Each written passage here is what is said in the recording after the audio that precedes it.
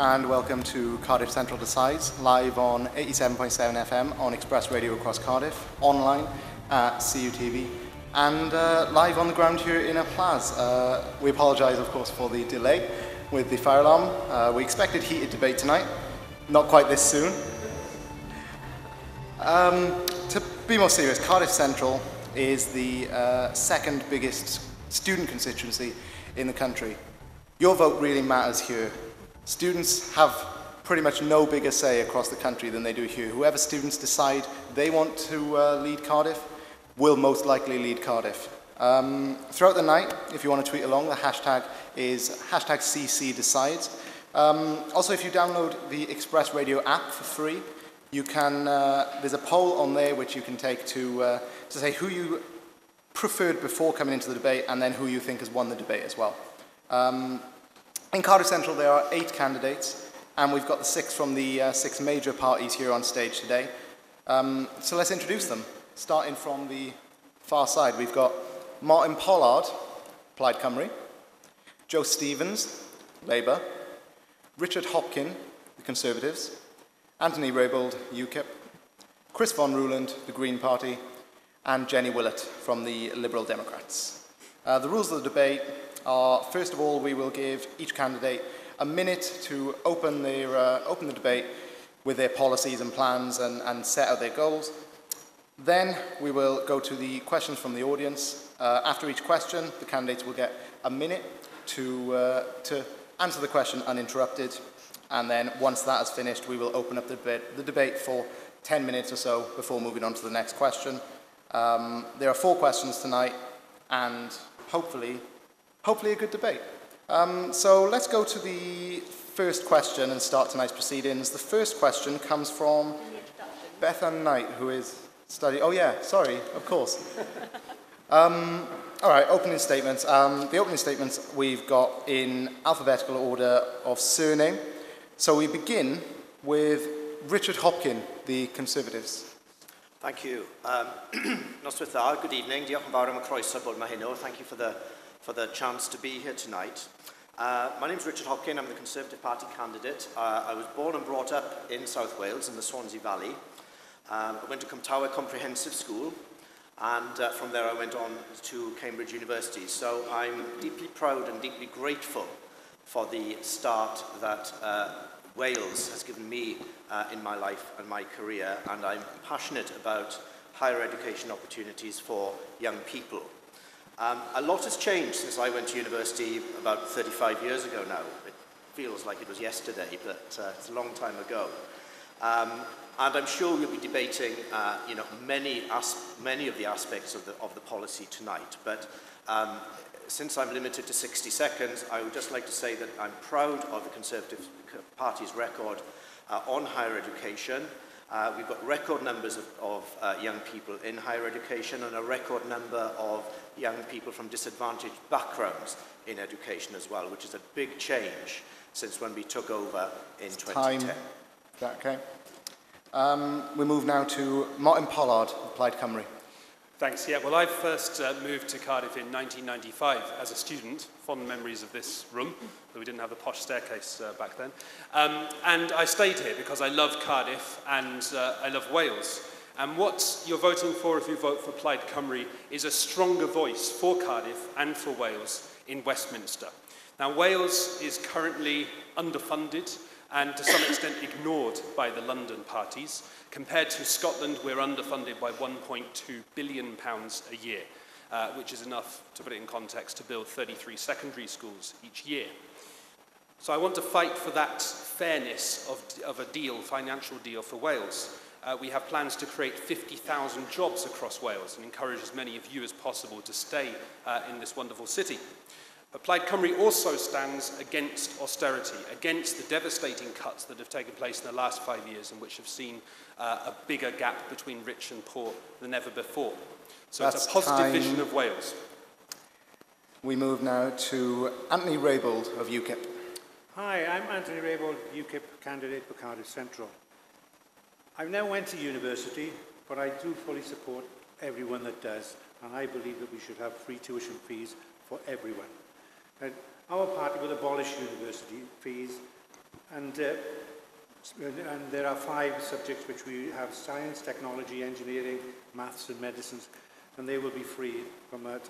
We'll also uh, help the young people by cutting immigration which will open up the, the first rungs of the ladder on, on the job market. Putting, up, putting pressure on wages, which will go up, and ease the housing crisis, which is such a problem for young adults today. Our plan is to allow youngsters to choose the apprenticeship course instead of four non-core GCSEs at the age of 14 we'll give those with practical rather than academic skills the strength and the ability to do, get off to a flying start. That's time. Jo Stevens of Labour. Thank you. Um, I'm going to be short and loud, which for me is I am short and loud and hopefully last, last no more than a minute. Um, I've spent my adult life here living in Cardiff. I'm very proud of the city. I live just down the road in Roath. I've got two teenage sons. I was state educated and the first female in my family to go to university. I'm not what you would call a professional politician. I've never worked for a political party. I've never worked for an MP. I'm standing here in Cardiff Central for election to be your MP um, because I want to be able to make positive changes for the student population here, for all the communities across Cardiff Central and provide visible, accessible representation. I'm a first-time candidate. I bring 26 years' experience of advising and representing people across South Wales. Fighting for people who've been injured, killed or mistreated at work. And I believe that equality of opportunity is fundamental to a fair and successful society. That's time. Uh, Chris Von Ruhland, the Green Party. Hi there. Um, I don't want to talk specifically about education. I'd like to talk about much broader issues. We have only one planet. Yet, in the UK, we behave as if we have three. Um, in the US, it's as if we have five. In other words, we're taking uh, far more of our fair share of the Earth's resources uh, than anyone else. And climate change is very much a symptom of this. We are almost obsessed with a relentless pursuit of economic growth. And yet nobody asks the question, at what point do we stop? When is enough enough? We're following a narrative, if you will, in which the acquisition of money and material wealth almost defines us as human beings. We are the only party, the Green Party, that actually questions this narrative. It doesn't have to be like this. We are the only party that puts people That's, and planet time. of profit. Thank you. Um, we move on finally to Jenny Willott, the Liberal Democrats. Well, I've been the MP in Cardiff Central for the last 10 years. Um, I, before that, I worked in the voluntary sector, particularly in international development, particularly with children um, and women's organisations. That was what I, I did beforehand. Um, in the last five years, I've been a minister in the government in the Department for Business um, and also for Women and Equalities. Um, and I've also done a lot of work on DWP work and pensions issues. In this election for the Lib Dems, there are some really key commitments that we think are very important, one of which is making sure that everyone who earns the minimum wage full-time doesn't pay tax, investing in poorer children so they have a better chance at education and can go to university, proper funding for mental health services, which have been massively underfunded for many, many years, Also looking at housing and really improving the amount of houses we've got, making it easier for young people to be able to rent and then own their own houses as well. Um, we've done a lot of work creating jobs, 2 million apprenticeship, apprenticeships and a, a real reduction in the number of young people who've been unemployed. Okay, unemployed. that's time. Um, thank you very much to all six of you. Uh, we now move on to our first question, which uh, is from Bethan Knight, who studies English literature. Bethan? Hi. Um, my question is, should the Welsh Government get the same per head levels of funding as the Scottish Government and why? So that, that question was, should the Welsh Government get the same per head levels of funding as the Scottish Government, and why? Um, and we'll start with Chris Von Ruhland of the Green Party. Right, yeah, this is um, broadly an issue of um, regional funding. It's something that came up as a consequence of um, the referendum on Scottish independence. Um, the Westminster governments, or the parties of Westminster, have rashed up to Scotland and made all sorts of whole promises to, to Scotland as a consequence. Um, places like Wales, Northern Ireland, various regions of England are saying, hang on a moment, what about us? Um, should Wales receive the same amount of funding as Scotland? Really, the funding should be, um, should be distributed on need. That's what it is. If Wales is, um, is a fairly, one of the poorer parts of the UK. Therefore, it should in fact enjoy somewhat disproportionately more than Scotland. Scotland has a lot of resources. Wales is relatively poor. Southwest is relatively poor. So this is really um, about regional um, distribution of money. And I think we need to sort of take this whole conversation beyond the um, the national or the national issues of Wales, Scotland, Ten seconds. and um, and look at the actual look at it from a regional perspective. Okay. Um, Jo Stevens, Labour. Yes, of course, the Welsh Government should get the same level of funding as is given to the um, Scottish Parliament. And Labour policy is for um, a reserved powers model for Wales, which, and also for a, um, a recalculation of the Barnett formula so that Wales has a funding floor that um, it doesn't drop below. We believe in Wales that Labour, Labour government believes in Wales that we should have the same advantages that Scotland does, and that's what we'll fight for if you elect us on the 7th of May. Okay. Um, Anthony Raybould, UKIP yeah, Joe has just pinched all my all my lines there. Uh, yeah, I think that the uh, there should be extra funding for the Welsh Government.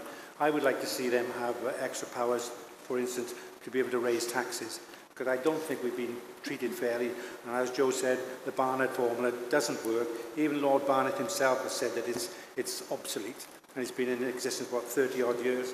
And he's already said it's, it's out of date.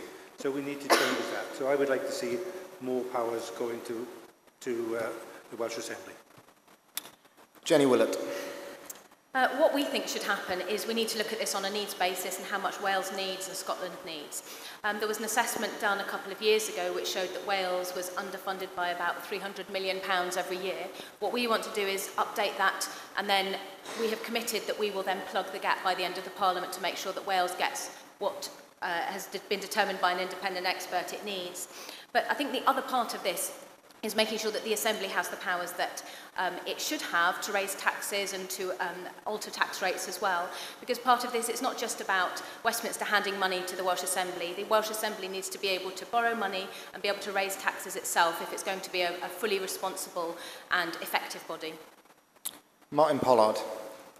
Uh, well, first of all, Chris, just to correct you, Wales is a nation, not a region. Sorry. Uh, but uh, on the point, more, perhaps more relevantly, uh, in terms of what the other parties are telling you, uh, you shouldn't believe everything you hear. After the Scottish referendum, the London parties made an agreement which locked in the funding for Scotland. That was part of the deal they struck in order to keep Scotland inside the United Kingdom. That deal sees Scotland 1.2 billion pounds a year better off than Wales on a per head basis. Now that 1.2 billion is uh, far more than the 300 million that the previous calculation around the Barnett formula uh, suggested. So Wales is highly underfunded in comparison to Scotland. Plaid Cymru is the only party speaking for Wales to be funded on the same basis as Scotland. And that is partly due to the decades of underinvestment in Wales as a nation, particularly uh, since the 1980s of the collapse of the mining industry in the South Fine. Wales valleys. Wales has a poor economy. It shouldn't be that way, and we need to fight That's for time. equality. Thank you very much. Uh, finally, Richard Hopkin. Thank you, Bethan, for the question. Um, uh, the short answer is yes, although the situation is, is, is complicated. Um, I find myself agreeing with some of the points that Jo has made and also that Jenny has made. Um, absolutely, the Assembly needs to have more tax-raising powers, needs to be more of a responsible body, not just a spending department, which is what it is at the moment. Um, Joe mentioned the reserve, reserve powers model. Um, that is what has been proposed by the coalition government under the St David's Day Agreement uh, on 1st of March this year. So Wales is going to have that model. We look forward to hopefully working with the Labour Party to implement that in Wales you know, as quickly as possible. Um, to Martin's point about the Scottish referendum, I think this raises, and, and, and you know, all, this, all, the, all the discussions after the result of that referendum, it raises an interesting point. Um, if we do end up and I sincerely hope we don't, but if we do end up with a Labour minority government propped up by the SNP, don't believe for a second that the SNP is going to do Wales any favours. Their objective is to break up the United Kingdom That's and to grab time. everything they can for Scotland. time. Um, okay, does anyone want to start the debate? Does anyone have issues to raise? Can I Okay. just... Do you mind We'll start, we'll start with you, Richard, yeah? Yeah, I just wanted to say, because I've run a bit run out of time, um, uh, the, one of the things that um, uh, that the coalition government has achieved is, is something called the funding floor for Wales. At the moment, Wales gets funding of about 114% of what England uh, gets as funding. And one of the things we've managed to agree, this is something that Stephen Crabb, the Secretary of State for Wales, has agreed with the Treasury, which wasn't an easy thing, you know, getting, getting the, the, the Treasury to agree to any kind of uh, you know, whichever party's in power to agree to anything is, is, is quite a challenge. Okay. Uh, but, but a funding floor, so that if, if funding goes up in England, it will automatically go up in Wales. Okay. Um, Martin Pollard, I'm going to come to you. Yeah, I mean, just to Richard's last point um, about Scotland not, uh, the SNP not wanting to do Wales any favours. The SNP and Plaid Cymru have a very close working relationship. The Conservatives have not done Wales any favours throughout electoral history, which is why they've never been given a mandate to govern in Wales. So there is a clear difference here in, uh, in, in terms of what we hope to achieve with an SNP uh, partnership in a Westminster government. Uh, Joe Stevens. It's interesting to hear um, both the Conservatives and the Lib Dems talking about um, extra funding for Wales, but the reality is, over the course of this government, we've had a 1.5 billion cut in funding to Wales from the coalition government. And if you look at what's happened to local government here in Wales, and if you look at what's happened to local government in England, you'll find that the money going to Conservative-controlled, Liberal Democrat-controlled authorities is much more.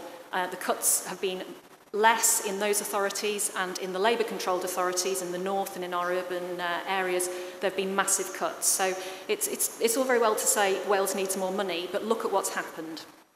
Okay, I'm going to come to Jenny Willott. The, um, the Inde Independent Institute for for Fiscal Studies has done a lot of work looking at the, all the, the proposals put forward by all the different political parties. And one of the assessments that they did was looking at the implications of all the manifestos for Wales and for the budget in Wales. And it was very clear that actually because of the way that Labour are proposing to keep cutting over the whole of the next parliament, um, that actually Wales would end up significantly worse off under a Labour government in Westminster than they would under either, funnily enough, the Conservatives um, or the Liberal Democrats. And actually, of all the, the plans in the manifestos, the Liberal Democrats were um, only a small cut in the budget for Wales in comparison with um, where we are now, whereas under the Labour plans it would be a significant cut in the budget. So that is something that I think we should be really, really concerned about over the next Parliament, because that has a massive knock-on impact on almost everything that on our day-to-day -day lives, those of us that live here in Wales. Joe? We've put all our manifesto commitments up for independent audit. None of the other parties have agreed to that. Any spending pledges that we've made in our manifesto are fully costed. We've said where the money is coming from. Haven't had that from the Tories, haven't had that from the Lib Dems. That's simply not true. All the political it is true. parties' manifestos have been independently assessed, which is why the, Indu- in- Where's the your- Institute for Fiscal money- Studies has been able to make that assessment. Where's your money So coming from from Wales? Because I've it's, not heard it's where it's very clear. from. It's all been laid out. The IFS, the, Ind- the Independent Institute, has looked at all the manifestos, and said where they feel the parties have uh, identified where the money's come from, and they actually said that the Liberal Democrats of all the political parties were the most transparent in where the money was going to come from and where it would be spent. You wouldn't, you wouldn't put your manifesto up for the Office of Budget Responsibility to look It's at. been though, done by the you? IFS, they're an you wouldn't do independent body. You wouldn't do it. I'm going to, I'm going to come to Martin Pollard. Yeah, I mean, I mean while, while they argue about these uh, statistics, there is one fact, and that is that the Conservative, the Liberal Democrats and Labour all do want to continue austerity in one form or another. They all want to cut further. Plaid Cymru does not. not. Can I come, just come back, Martin, on a couple of things you said earlier which were factually incorrect? Um, you said that the Conservatives have no political presence in Wales, or words to that effect, which is manifest nonsense. We've got more MPs than you have, and we'll probably have more MPs than, than you'll have after, after May the 7th as well. So that's point number one. Point number two, we've done a lot for uh, Wales. Um, what about, you know, um, a billion pounds investment in rail electrification? What about all the funding to upgrade the road, the road network, the M4 and the A55, and uh, 70 million pounds investing in superfast broadband? So it's completely wrong when you, you paint this caricature of the Conservative Party as being anti-Wales. It's complete and utter nonsense. Well, some, yeah, I mean, we expect governments to invest in things throughout, throughout the UK. That doesn't change the fact, of course, that the gap between rich and poor has got wider, that there are one in four people in Cardiff Central not, not earning a living wage despite being employment, that there are a huge number of people who are using food banks because of benefit cuts. All of these things uh, are true as well.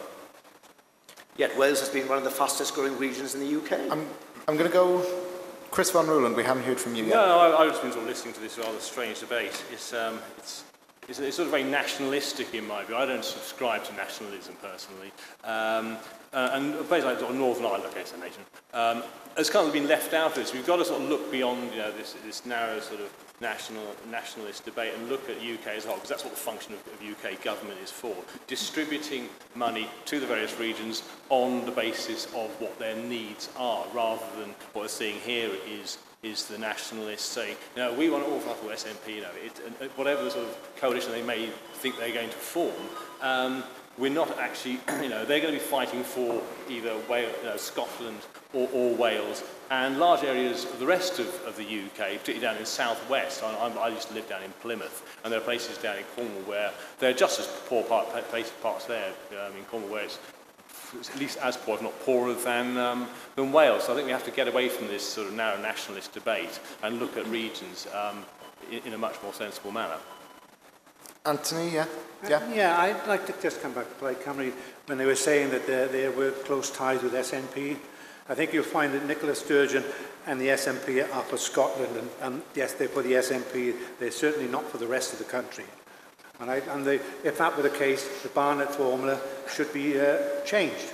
Why then, Anthony, is the SNP arguing consistently throughout this campaign for social justice, against austerity, for all kinds of policies that certainly do have an impact throughout the UK? It's just a, a, um, a bizarre sort of caricature of the SNP that all they're interested in is achieving independence for Scotland. You hardly hear them talk about independence for Scotland in this campaign because what they're standing for is something which is about changing politics so that it's more progressive and more socially just. Nicola Sturgeon has already shown her aggression about what she intends to do when she gets into Westminster, and she wants to take control. And that's, she's made that pretty clear. But Nicola Sturgeon isn't standing as a parliamentary candidate. Well, her, oh, all right, I should, all right. Alex Salmon then, if you like. Yeah. But Nicola Sturgeon is, is heading it. But what I, I think, you know, what you see with, um, with the SNP is if you actually dig underneath the kind of rhetoric that you see in the press and, and all the hoo-ha about Nicola Sturgeon, is that they want to have different rates of corporation tax, they want to have a different level of minimum wage in Scotland, they would be pitting Wales against Scotland, against England, and all that will do will drive down wages, it will undercut wages, it will cause job losses. It's not what's going to work to have a thriving, strong economy across the whole of the UK. Okay. Going to wrap this question up unless anyone else has something pressing to say. Okay. Um, in that case, we're going to move to our second question, which comes from uh, Owen Richards, studying ancient history. So, Owen, what's your question? Okay. Polls show most voters struggle to distinguish between the main political parties. Is this a new age of consensus politics, or are the catch-all tactics of the main parties causing voter apathy and confusion? Okay, I'm so sorry, I'll repeat, did, I didn't hear the question, I'm afraid. I'll, I'll repeat the question. Um, polls show most voters cannot distinguish between the main political parties. Is this a new age of consensus politics, or, all, are, or are the catch-all tactics of the main parties causing voter apathy and confusion? And we'll begin this one with Joe Stevens. Okay, um, I think there's a very clear choice at this election, and particularly if you've seen what um, the Labour announcements have been over the last few weeks, they are very different from what the Conservatives are offering, what the Liberal Democrats are offering, and what Plaid and UKIP are offering. So, for example, on housing, we will legislate to allow um, three-year tenancies to give young people and lots of families in Cardiff Central more security of tenure Um, also rent controls within tenancies and banning rip-off letting agency fees. On other things like the minimum wage, on the living wage, on tackling tax cheats, There is, at any one point, there is £34 billion pounds worth of uncollected tax in this country. And at the same time, we're being told by the coalition government that we've got to have spending cuts. Why don't we go after those tax cheats? Prosecute them, fine them, and make them pay their tax? We're very clear on that. Ed Miliband has been very strong on what we will do around reforming HMRC and going after tax avoiders. and we don't hear that from the other parties. That's- so there's just a couple of That's examples. time. Uh, Anthony Raybould of UKIP. Yeah, the, the question was, uh, are all the parties the same? I think that's what you meant, wasn't it? Well, they're not all the same because we are different. We have a different approach to what the other parties have. Because As everybody should know, if they don't know, that we want to leave the EU. Now, we've had a lot of uh, criticism about that, but when you look at it logically, we are paying out billions and billions of pounds to in European uh, subsidies, European uh, membership, and all sorts of other things that we could save, which could be put into the country. Um, the difference between the parties is that, well, between Labour and Conservatives, I don't think there's a, a great deal of difference between them. I mean, this last couple of days they've been arguing about the young vote. Uh, Conservatives are saying that they have a five-point plan. Labour is saying that they have uh, better policies. But in actual fact, when you look at it all, it's pretty much the same. We're the only ones that really want to make a difference. That's time. I'm going to have to stop you. Uh, Richard Hopkin of the Conservatives. I, I agree with Jo that there's a very clear difference between uh, the three parties, uh, the, three, the three main parties, Labour, Conservative and, and, uh, and, and Lib Dem. And uh, I think the choice is this. The choice for the Conservative Party is one of uh, strong leadership, um, a long-term economic plan. We've got a strong track record uh, over the last five years of the coalition government of uh, rebuilding uh, the economy that was uh, so damaged uh, by the recession uh, on, uh, on the Labour Party's watch. Um, uh, we've got record economic growth. We were the fastest growing economy in uh, the Western world in 2014, highest ever number of people in employment, uh, lowest ever inflation. These are all things that Ed Balls five years ago was saying would never ever happen. So it's a very, very clear choice on May the 7th between continuing with that strong track record or taking a risk um, and, and risking a minority government uh, propped up by the SNP. Labour need to win 99 seats to form a, a majority government. There's just no way they're and going to do that. That's time. Martin Pollard for Plaid Cymru. Yeah, I think we need to recognise some of the truth within the question, actually, which is to say that over the last 20 years or so, we have seen the main parties much more uh, go towards the centre and have fewer distinctions between some of their core policies. Uh, Plaid Cymru uh, is different in this respect, although we do share some, some policies with Labour. Don't, don't, please don't believe Jo when she says that they're the only party talking about tax avoidance and rent controls, for example. But what we are also talking about, Plaid Cymru, is starting to gradually increase government spending over the next five years rather than continuing to reduce it. Uh, we want to invest more in infrastructure. For every one pound you spend on infrastructure, you can get a three pound economic return. So that's one thing that's very different. We're against the renewal of the Trident nuclear missile system, which will cost us 100 billion pounds over its lifetime. Uh, we are very positive about immigration in Plaid Cymru. We believe that's something that's very beneficial for the country. And uh, the living wage that we want to see introduced, we actually want to see the living wage become the minimum wage by the end of the Parliament. Jenny Willott, Liberal Democrats. Well, there are, I mean, Anthony said that um, he thinks that UKIP is very different from the other parties. And to be honest, I probably agree with him because I don't think I agree with UKIP on pretty much anything at all. So there are clear differences there. Um, there are areas where the, the parties do agree. Um, for example, I think most of the main parties agree that we need to sort out, we need to carry on sorting out the economic mess that was left to us by Labour, that actually we do need to get down the deficit. But then we all disagree on how we should actually do that and what the, the end result is and the timing and things like that. Um, As for the Lib Dems, we, our slogan, as it were, for this election is a stronger economy and a fairer society, which kind of sums up really neatly what we want to do, which is that we think that we need to make sure that everybody has a decent chance in life, eh, particularly those who are from more deprived backgrounds. So your background doesn't dictate whether you go to a decent school, whether you can get to university, what sort of job you do, and so on. So we think it's important to invest in those in those areas to make sure that people get a decent chance. But we do need to sort out the economy because we can't go on um, paying out more every year okay. um, than we have That's coming time. in. It just doesn't work. And finally, Chris Von Ruland for the Green Party. Um, yeah, I think that's the general consensus is that the, um, the major parties have become remarkably similar. We've seen recently uh, Conservatives trying to out-UKIP, out UKIP, UKIP um, Labour trying to um, become more like the Conservative Party. They're trying to follow various narratives which these parties have, have created. Um, but in fact, from, from the perspective of the Green Party, they are all pretty much identical in the sense that they all subscribe to eco- sustained, or something I've heard words, sustainable um, economic growth without end. Um, and this is utterly incompatible with the fact that we live on a planet and that there are inherent limits to what we can actually do. There are, it's a finite environment in which we live and we have to, our economics have to reflect that. That's what makes the Green Party fundamentally different from all the other political parties. So from our perspective, they're all pretty much the same. Okay. Um, Jo Stevens, Plaid Cymru, or Martin Pollard, says that um, he says that Labour are not the only party talking about tax avoidance. Uh, what sort of thing would you respond to?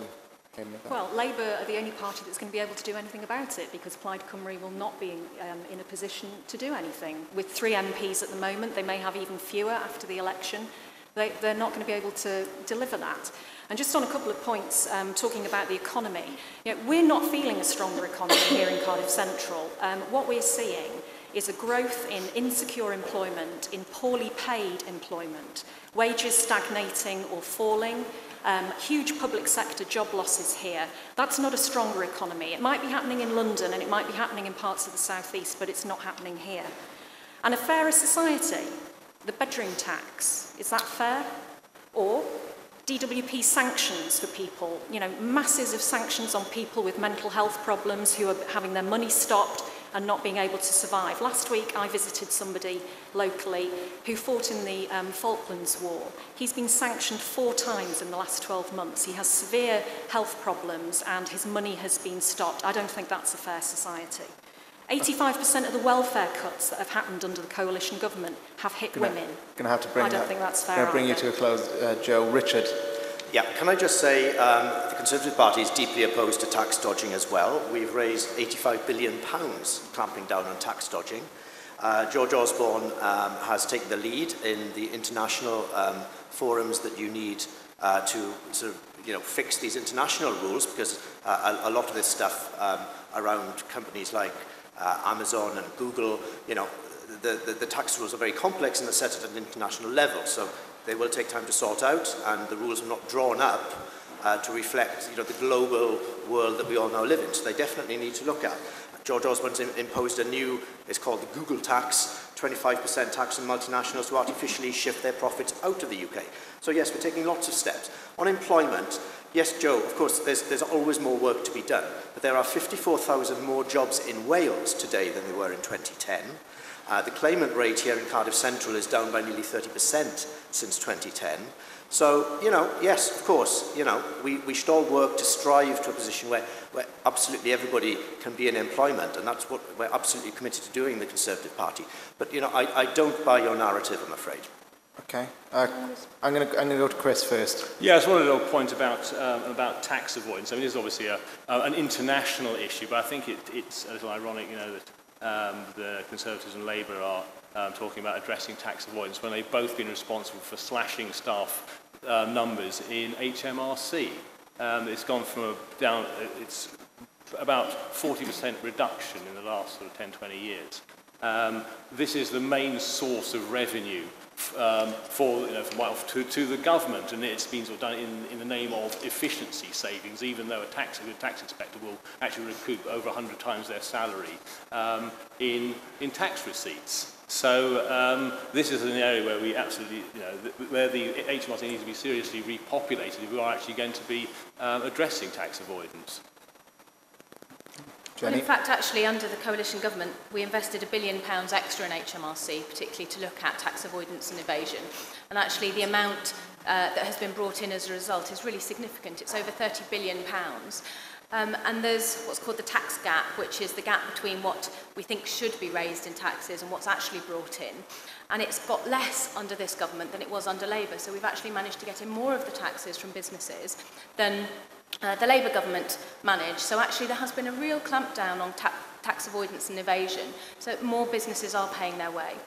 And also, when I was a minister in the Department for Business, one of the areas that I was responsible for, sounds dull, it was corporate governance, but actually it was quite interesting. And one of the areas was looking at how businesses report, um, how they um, can uh, or if they can hide their profits and things like that, and how they report across international borders. And we've made a massive difference to tightening up those rules, some of which have only come in in the last year or so, so they haven't kicked in yet. But actually, for the future, there have been some dramatic changes in the way that businesses are run to make sure that they have to declare what they're earning and that they do pay their way.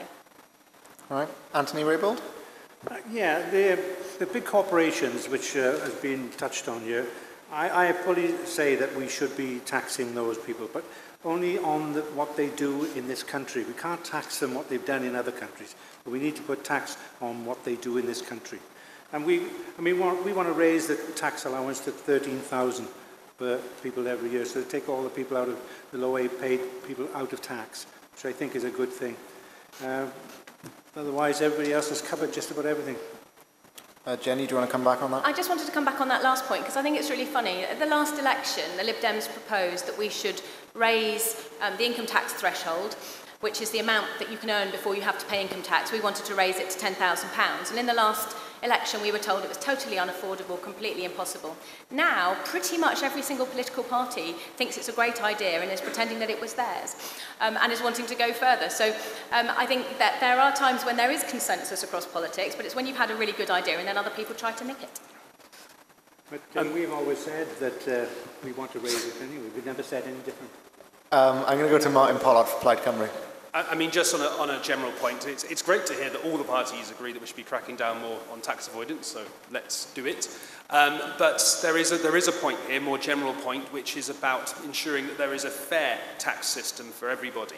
And uh, one of the things that uh, Plaid Cymru wants to do is to ensure that uh, higher earners, uh, there, do, there doesn't come a point where you stop paying national insurance, any, any more national insurance after you reach a certain salary, that higher earning pensioners uh, don't have as much tax relief as they do at the moment. And those kinds of benefits can, can then ensure that people at the uh, bottom in terms of, of income uh, will do better. And there are some real issues here. The bedroom tax has been mentioned. There's a real uh, problem about, child, uh, about um, uh, people not being able to get enough support for childcare.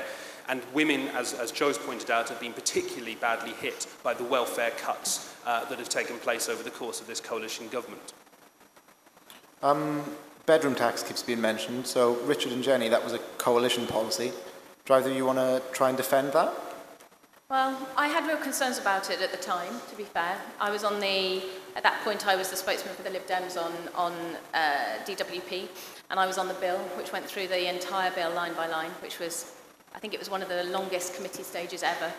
Um, and I raised a number of concerns in the committee. We've got a lot of extra money put in um, to help local councils keep people in their homes if they were concerned. But I think it's really clear now that after it's been brought in, there was an, a, a review done after six months which showed that it wasn't working the way that it was intended. Um, and I think it needs to be reformed, to be honest. Um, what we want to do is make sure that Um, more people are exempt completely, so um, if you've got a disabled child, it, you're exempt, but we want to ex exempt disabled adults as well. And we also think that it should only kick in if you have been offered an appropriate property and turned it down. Um, I think the intention behind it I can understand because as a Member of Parliament I have had over the years hundreds of people come to see me who are in um, cramped accommodation and they can't move and there just isn't enough larger accommodation. So I can understand that the intention is to try and resolve some of those issues, but it obviously hasn't worked the way that it was intended to. So I think you have to learn from the evidence and then you, you reform it as necessary. Chris? I'm sure it wasn't absolutely predictable that it was going yeah. to fail. I mean, yeah. the fact that you know you, you introduced tax um, which not technically was not, it's not a tax, not a tax. I mean, maybe it is, it's got a better tax. That there wasn't the, the housing there for people to move into. I mean, it, surely it was absolutely, you know, it was pretty bloody obvious it was never ever going to work. Well, that was why the money was put, there was an awful lot of extra money put in by the government, 400 million pounds, to ensure that people who couldn't move, for local authorities, to ensure that but people who couldn't move or it wasn't sensible for them to move that could stay. And actually there's been a real problem in Wales where local authorities gonna, haven't used that money to do that. because, uh, yeah. we, we might be talking about housing in more depth a little bit later on. I'm going to come, come across to Joe Stevens, who raised her hand. Before the tax was introduced, the government knew that in Cardiff there were over 3,000 households that would be affected by the bedroom tax. They also knew that there were 115 smaller properties for those people to move into. Now, I got a really crap grade in my GCSE maths, um, but even I can work that one out. It was never going to work from the beginning. It has hit disabled people disproportionately. It is a disgusting tax, and these parties, the Tories and the Lib Dems, have voted for it five times. But, Jo, isn't it right that the Labour Party introduced precisely this change in the private rented sector. That's what you introduced yourselves. Not, yeah, but we did not introduce a policy when we knew that there were no properties for people to move to. It's a regressive tax, and, But as and Jenny you're said, you hitting, know, you're I'm not- hitting I'm- disabled people hard with Well, this tax. You know, just admit it. It's Nobody- all very well saying you've got it wrong No, no, five years later. Nobody, nobody wants to hurt disabled people, and as Jenny said, you know, 20 million of extra funding has been offered by Westminster to Wales to deal with these cases of, of, of hardship. Um, and, and But it doesn't work. relatively There's, little of n- those there's funds nowhere for it went people to move I'm- to. I'm going to come to Anthony Raybould before we wrap this question up shortly. Yeah. Well, I mean, we would abolish that straight away because it, it is unfair. It's not the disabled people uh, who have to have two rooms because they have equipment that they need to use. They get in, they've got to pay tax on it. Whether that's been changed now, I'm not sure. But it's unfair and should be scrapped straight away. Anyone want to make any final, Well, final well, you know, comments? I, I, have a friend uh, who lives in, in, in a council house with her son who's grown up. Um, she's sort of uh, middle-aged, the son's about 35, and she's living in a, a four-bedroom council house. Now, is it, is it fair, um, you know, fond of, her, fond of her as I am, uh, is it fair for her to uh, occupy that property or either to pay a little bit more for it or, or to make the property available to a, a, a big family that might need it. So, you I'm know, gonna- this I'm is about, about, you know, asking people in that situation to make the same choices that people who are, um, you know, having to, to, to, to work hard and pay their We'll, own taxes we'll get, we'll get one more comment from Anthony and then, and then that, we'll have to wrap up this question. The question. thing is, you can't say that because that lady, or whoever she is, might have been all her life in that, in that property with, with her young children and, and her she's families. Still there. She's still yeah, there. That's exactly she's just right. Paying a little so bit then, more for it. When, she, when her children grow up and they move on to other things, why should she then be punished because she's got a bigger house than she should because have? Because it's not it's fair to people unfair. on waiting lists. There are 90,000 people but on We have to build lists. more houses. So, Every you know, seven minutes we should be building fair? a house. Is it fair to have someone whose, whose son is 35 and is, is, is you know, grown up um, to, to, to stay in that house and block the occupation of that house for you know, thousands of people on waiting But it's her home. It's not All right. just a house, Final- it's someone's home. Well, she's still Mar- there. Martin Pollard has been waiting patiently, so we'll let Martin have the final comment and then we have to move on to the third question. I thought I'd let them fight it out a bit first, but, uh, but we, we oppose the bedroom tax completely. And, and the issue here is it isn't, you can't, just, you can't compare uh, people in, in these situations in exactly the same way. So you can't compare necessarily people who, who have bought their own home and might want to downsize their home to somebody who has always lived in council social or social housing and isn't able to make those same choices. And there is a real issue here. You know, the Conservative and Lib Dems called this the spare room subsidy as a great euphemism. It's almost like if you were going to tax windows, you could call it the extra light subsidy. But it doesn't actually help people who are in that situation, and it's been proved to really damage their life chances and, and hurt the most vulnerable people in society. Okay, um, time for our third question, which comes from Jake Smith, who is a politics student. Jake? Um, hello. Um, how will your party help students and young people who are renting their homes and then help those young people onto the housing ladder? So that question, that question was, uh, how will your party help students and young people rent in their homes? And how will you help young people get on the housing ladder? Um, and I'm going to come first to come first to Chris Von Ruhland. Right. Um, rents, um, big problem. It's, it's, it's ridiculously expensive. Um,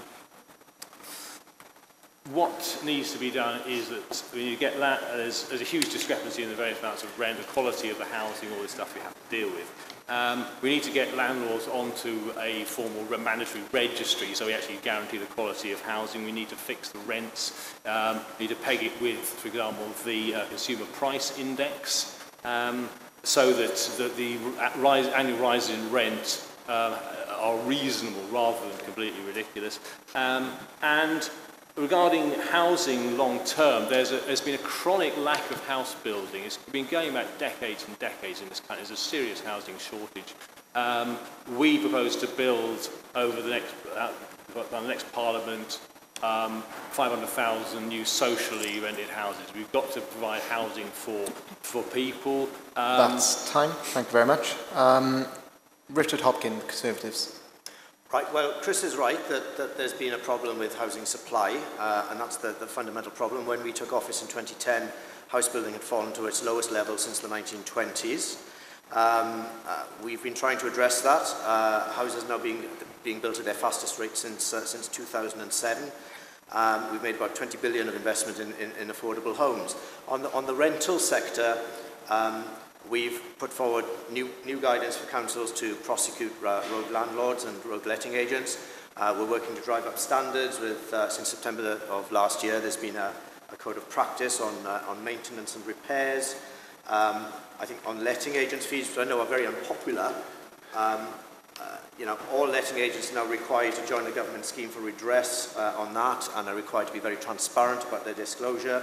You'll, you'll hear, I'm sure, from um, my political opponents of their plans for rent controls, banning fees and all these kinds of things. These will just lead in the long term to higher rents. They'll undermine investment in housing, uh, just make housing quality poorer, okay. and in the long term, That's it's not time. going to help solve the problem. Anthony Rabel for UKIP. There is a dire shortage of houses in this country. We need to be building a house every seven minutes in order just to keep up with demand. And when it comes to the question of uh, st uh, students or young people, we should be looking at what they're charged when they rent property. Because sometimes you, when you're changing agents, you've got to pay an agent's fee. And I think that should be paid by the landlord. He gets a great deal of money out of you. So therefore, the landlord should be paying the agent's fee if that's what he wants to keep changing. So we need to be do, looking at things like that. And uh, we can then uh, start protecting the young people who need to go, who go to university. Jenny Willott. Well, part of, it's, part of the problem with housing is driven by the shortage in housing, and we think that uh, we need to build about 300,000 houses each year to be able to start to improve the, the situation and deal with the shortage. Um, and uh, the government has done quite a lot to try and get that restarted and we've got some pilots going where the government's actually putting the money in to get houses being built more quickly to get them onto the market quicker. But in terms of um, help for renting in particular, um, we uh, want to set up a scheme called uh, help uh, that we've got the help to buy ISA which the government brought in at the last um, uh, budget, which gives up to £3,000 to help people buy their own home. And we want to have a um, rent-to-own scheme, which you pay rent every month and it helps you uh, contribute towards the property. And by the end of 30 years, you have it as if it was a mortgage, but you pay rent instead. But we also want a scheme that um, is a help-to-rent scheme, which gives young people um, the deposit, because often that's one of the biggest problems to help people be able to find the deposit on their first home. So we would set up a help, help-to-rent scheme, which gives people That's up to one and a grand to Thank- be able to put down a deposit Thank on you their very much, house. Jenny Willott. Uh, Martin Pollard. Yes, well, um, in Wales at the moment, we have the uh, fastest rate, rising rate of rent in the UK outside of London. So this is a big issue, especially for uh, young people.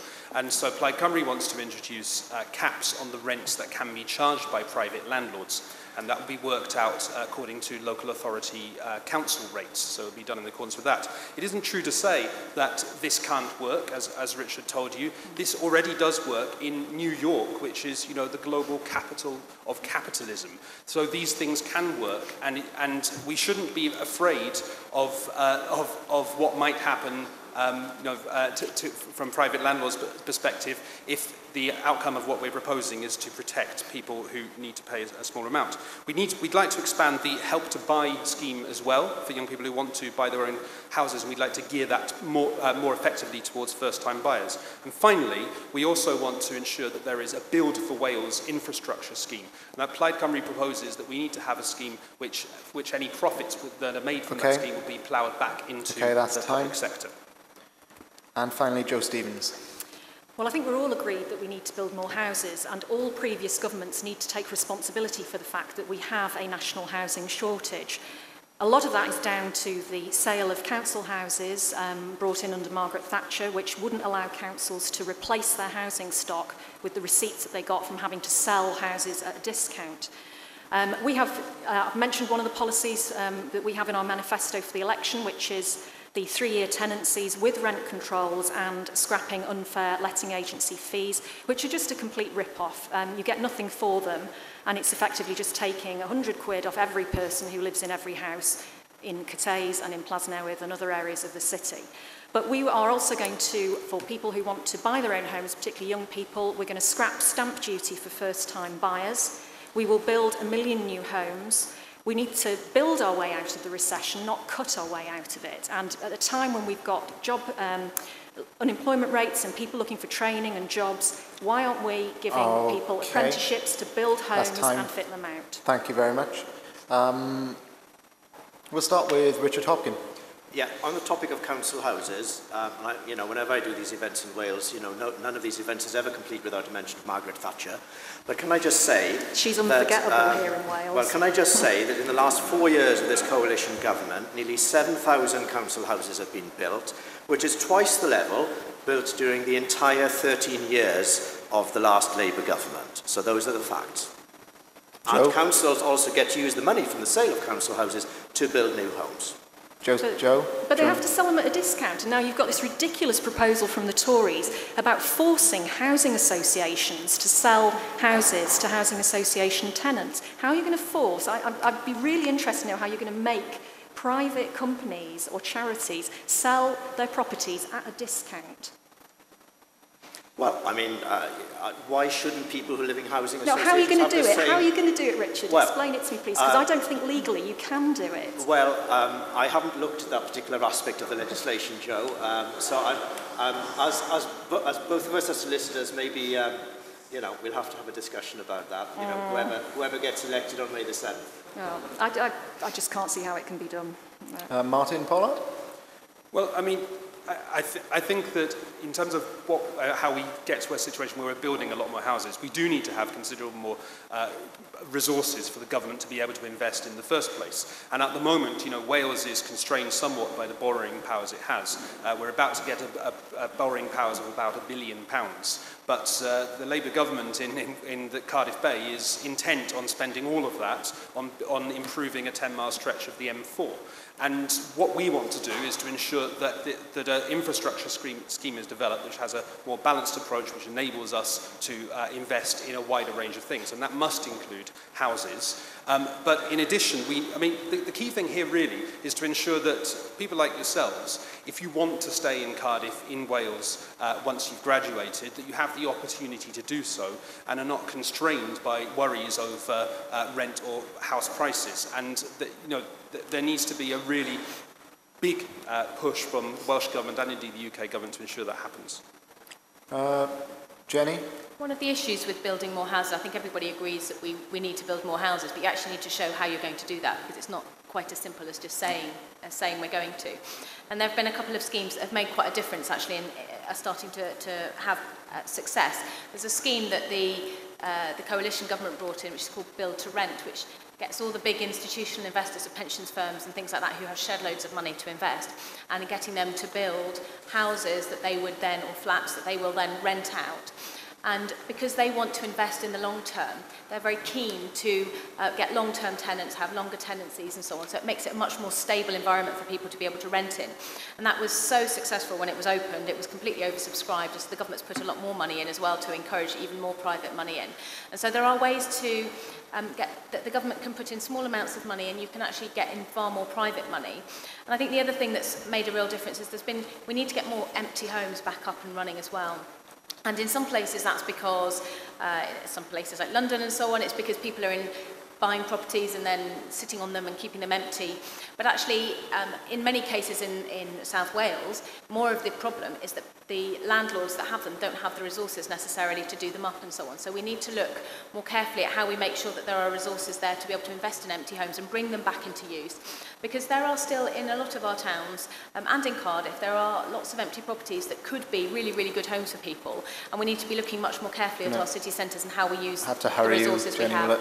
Um, I'm going to go for Chris for the Greens. Yeah, just carrying off what Jen- Jenny said about um, the huge number of empty properties. There's something like, estimate there's something like 700,000 um, empty properties in the UK.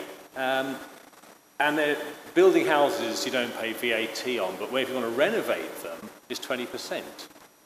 So we need to change the, we want to make it more financially attractive for people to renovate and repair existing stock in addition to um, further, ha further house building. There's a huge amount of stock, but it's there's a huge financial disincentive to, um, to repair and improve. So what we've proposed is to actually reduce the VAT dramatically on, material, on, the, uh, on the renovation of existing properties and also um, applies almost a forcing um, private individuals to free their houses up to allow to um, for people to live in because that's what houses are for. There's um, uh, there's a sort of a philosophy that always you buy a house to invest in. If it's not an investment, it's these houses are for people to live in. That's what they're for. So that we need to get back to that sort of fundamental sort of principle. Okay. Uh, Anthony Raybould, you want to come in? Um, we heard from the Lib Dems and the Conservatives about the right to buy. It sounds great, and the people who are in the houses, for them to buy it is fantastic. But they're selling the houses off at a discount price. They cannot build a house for the, for the money that they are getting, receiving in. So the money, extra money's got to come from somewhere. And Conservatives say they built 7,000 houses. When you think that 300,000 people came in last year, which is equal to about 75,000 houses, 7,000 is not that great, is it? We are building on, we need to build on brownfields instead of greenfields. and we can do that. And we are saying that for, if there's any uh, any contamination on these uh, on these uh, brownfields, they'll be sorted out. Any new houses and new sales would be free of VAT at that time. Can I just Jenny. say that the Lib Dems are not in favour of the right to buy? Um, but I think one thing to make clear is that actually under the Labour government from 97 to 2010, at the end of that period, there were 420,000 fewer social homes. We have started rebuilding, so actually there have been 200,000 social homes built by the coalition under the coalition government. So we are starting to replace those ones that were lost under Labour, but we're not in favour of the right to buy. Richard Hopkin. Well, no, I was just going to ask Anthony that, um, you know, he's talked about uh, brownfield sites, but haven't you also abolished, you, you're committed to abolish all house building targets? So you actually haven't got any targets for house building. No, yes, we, were, we intend to build a million houses by 2020. Oh, really? Yes. Okay, that's not what it says here. Uh, oh, I don't know what it says there. I'm, I'm going by what I, I've got. Joe Stevens. I just wanted to make a point about the private rental market. Um, Cardiff Central has got one of the highest proportion of private renters of any constituency in the UK. And every year the government spends about £24 billion pounds on housing benefit. That effectively is a corporate subsidy, a cor you know, corporate welfare going straight into the pockets of private landlords.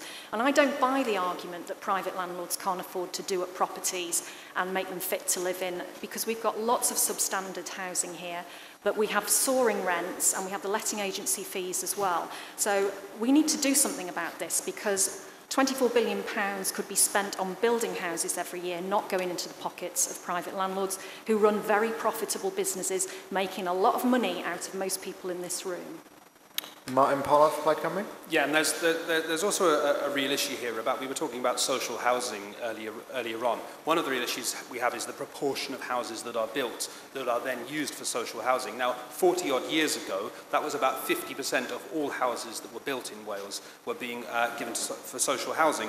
Uh, nowadays, the percentage is something like 15%. So uh, there's, there's an issue here of people not only being priced out of the private market, but of not having the opportunity to get into the uh, council-funded market as well. So, um, and we, we also uh, are, are against the um, right to buy as well, because we just believe that this is something which takes even more stock out of the control of the council. One more thing we'd like to do, however, is to ensure that where people do want to repair houses, rather than see them go to rack and ruin, that they're helped to do so uh, by a cut in uh, VAT down to the minimum that we can, which is uh, 5%, to ensure that people can actually you know, stay in homes and keep them viable. Uh, Richard Hopkin, a lot of the candidates are criticising right to buy. What do you have to say to them? Well, I, you know, I think, I think um, as, as I said a moment ago, uh, if you're talking about the extension of the right to buy to housing associations, I think, uh, I think it's only fair to give people who, who are living in a housing association property uh, the same option, if they want to take it, uh, to, to, to buy the property and, and, and get properly on, on the housing ladder. I think home ownership is, a, is an aspiration uh, that, that most people have, and uh, this is a way of helping more people onto the home ownership ladder. And as I said, the proceeds from the sales will be ploughed back into building more social housing. Anthony Raybould? Well, if the associations are being forced to sell, When did, where, how far do you go with it? Do you say then to private landlords or you've got to sell because they've been in the house a certain length of time? Well, no, I mean, they only sell if somebody in the house wants to buy. But I'm talking, about private landlords now. Where do you stop with this uh, right to buy? Where do you stop with it? Well, the right to buy doesn't apply to the private rented sector. But, but it could if you on the, on the, if you're going on that path where first of all it was social housing, then it, it's uh, associations. So where do you stop with that? Well, I, I'm sorry, Anthony, I don't quite follow you. I mean, we, we had right to buy in the council housing sector. It was a very popular policy in the 1980s. Um, uh, many, many people took it up. Um, and uh, now we're proposing uh, in, in our manifesto right now to extend that to the housing association sector. Yeah. I don't think we've any plans but they, to but they are, they force are, they are, private landlords they're to a private, sell They are a private to... uh, association, is a private company, isn't it? So uh, right. you're going to extend that then to houses Well, they're a special rent. kind of private company. They're not, you know... Well, I'm okay. just wondering where it would I'm, stop. I'm going to I'm going to break this up, and I'm going to come well, to there are Chris. Plans to force private landlords. R to Richard, thank thank you, um, yeah, Chris one, for the Greens. One issue of this right to buy scheme, um, which doesn't really get mentioned, it might you know in principle work in somewhere like Cardiff where high high housing price and, you, and the, the local authorities may expect some sort of receipt with a view to building more houses. It's certainly not going to work up the South Wales valleys. Persimmon and the builders are not building anywhere north of Pontypridd. So um, it's something which is actually in principle, I would in principle object to anyway, but in simple practice, it could only possibly work in areas where you have uh, relatively high house prices, and it, if anything, will force them up. Uh, Jenny, anything to say? Well, I mean, personally, I don't agree with the right to buy either. Um, I, but I think the, the, the question was more about, originally, that was more about sort of renting and, and how we make sure that young people can rent. And I think one of the, um, the really important things is making sure that um, rents are affordable, which is clearly um, is a problem in certain parts of the country. Um, and that also people have the deposit, because actually one of the biggest issues that comes up when people come to see me in, in my surgeries is that they don't have the deposit to put down in the first place. And that's particularly the case for young people, which is why I think it's really important that the Lib Dems want to bring in the Help to Rent scheme, which would provide people with a deposit for their first house. Does anyone want to make any final comments before we move on to the next question? No? Okay, um, so we move on to the fourth question, which comes from uh, Olivier van den Beek Kelly, who is a religious studies student. Uh, what will you do to ensure that there is a sound infrastructure and enough opportunities to convince graduates to stay in Cardiff? Okay, so that question was uh, what will you do to ensure there is a sound infrastructure and enough opportunities to convince graduates to stay in Cardiff? And we're going to open this one with Anthony Raybould. Sorry, could you repeat the question? I couldn't hear Um, okay, what will you do to ensure that there is a sound infrastructure and enough opportunities to convince graduates to stay in Cardiff? So, job opportunities. Sorry, can you... It's, it's fuzzy. Um, Sorry, okay. What will you do to ensure that there is a sound infrastructure and enough job opportunities to convince graduates to stay in Cardiff? Job opportunities, okay.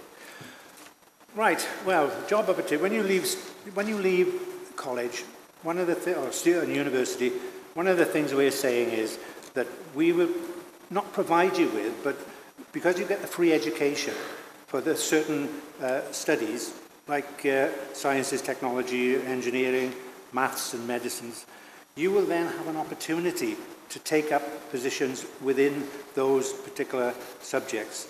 And I think that is an excellent way to start. We need to encourage you to stay in Cardiff because you have a great deal to offer. Every, all of you who are in, going to university have a great deal to offer. I think you, that's the best way to go. Chris von Ruhland. Um, right, this is about, um, about providing, potentially providing jobs. Uh, um, what we've proposed is to establish, uh, and encourage the establishment of small businesses um, through about 2 billion investment in community banks. These are the providing loans to, uh, to get small businesses started. Um, and in addition to that, um, we also propose a citizens' income scheme which provides a financial um, uh, basis, foundation to build upon. Um, what is it will keep you in Cardiff? Um, I, well, I, I moved here 30 years ago. What kept me in Cardiff was um, the fact that it's a lovely city. Uh, the, you know, I, I, I was fortunate. When I moved here, I didn't have a job. One just happened to come in the Royal Infirmary, which I, could, which I managed to walk into. But that was a time of fairly high unemployment. Um, but ultimately, it's about what, um, what jo it's about job opportunities. Um, so yes, I mean, we, encouragement of small businesses. Okay. That's time. Thank you very much. Uh, Jenny Willett for the Liberal Democrats. Well, Cardiff already has one of the highest retention rates of students because it, uh, as uh, Krista said, it's a really lovely place to live and people want to stay here. But obviously, if you're going to stay here, you need to have somewhere to live and you need to have a job to go to. Um, and what we want to see is a city deal for Cardiff. This is something that's happened in, um, in England and also in Glasgow, up in Scotland. And it's, um, we've been trying to get the, the local council and the assembly to talk to Westminster about this, and it's been extremely frustrating, and they've been very slow. But a city deal would bring in significant amounts of money to improve transport infrastructure, to help uh, bring in high-skilled jobs and attract employers. We've already got some really good big employers in Cardiff. British Gas was uh, created some new jobs this week, Admiral, and there are various others the big firms that are here, but actually we want to create more high-skilled jobs for, for people to be able to go into after university. And we've also we've just been talking about the need to improve the housing stock and also to create more houses and to give people opportunities to get on the housing ladder as well, because if you're going to stay here, you want to be able to settle. Um, and things like our support to be able to Thank help you. people onto the housing ladder is really important. Thank you very much, Jenny Willott. Uh, Jo Stevens for Labour. Um, one of the things we're going to do through the mansion tax um, is raise extra investment for the NHS in Wales and specifically use that money to train 1,000 extra doctors, nurses, physios, occupational therapists, all frontline staff. And so we hope, you know, that's one way that we will encourage graduates here in um, Cardiff to stay in Wales and take up those training places and opportunities. Secondly, um, we're going to have the Metro, South Wales Metro, in terms of infrastructure. We've got to improve our public transport links to make Cardiff an easier, better city for people to commute, get traffic off the roads and onto public transport and encourage more cycling and walking across the city.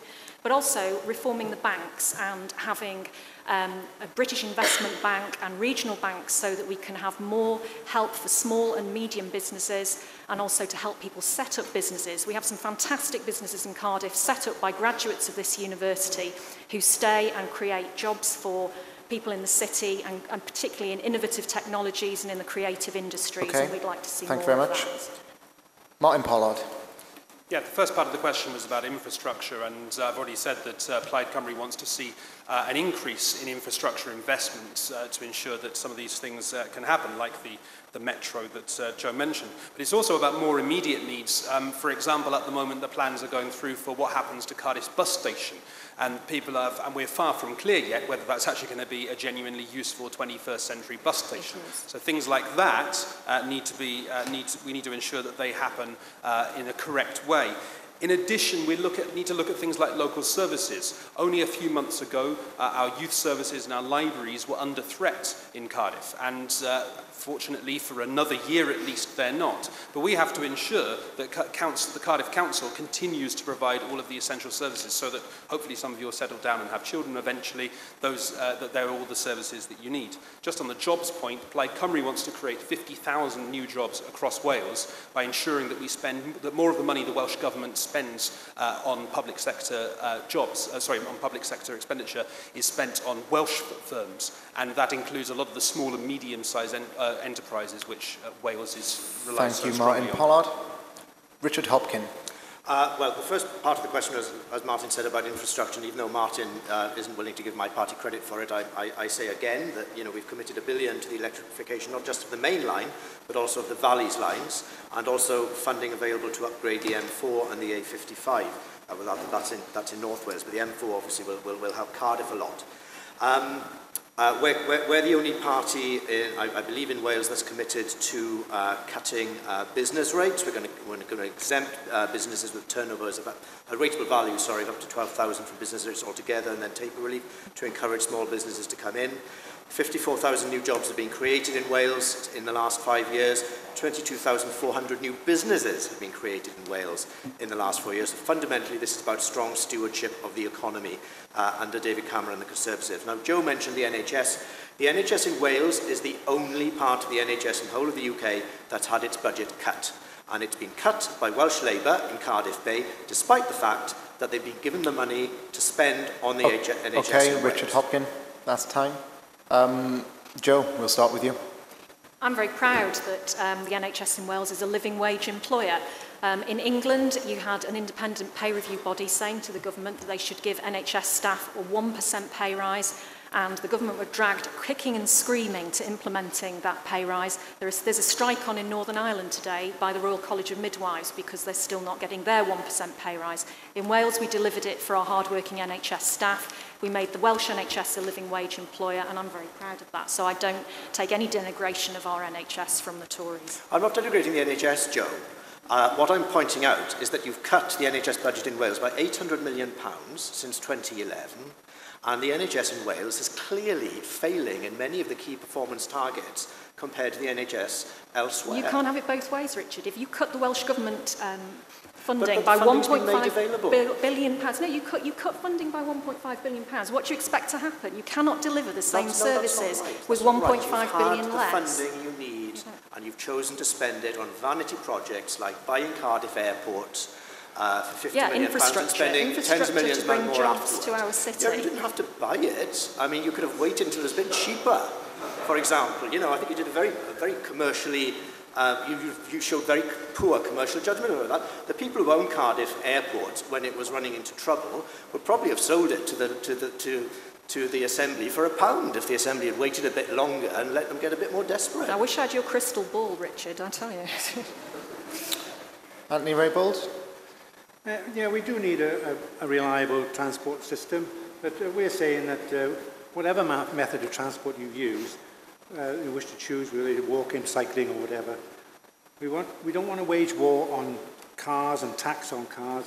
We want the whole thing to work as, a, as one unit. We'll scrap the H- HS2 because that's just a vanity problem, paying 50, 50 what, 52 billion pounds uh, a year, so we'll scrap that because it doesn't. I could see you laughing. What, what, uh, what is the? Are you?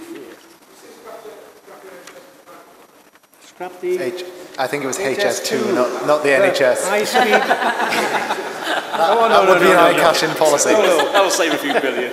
No, not scrap the H- uh, NHS. No, definitely not.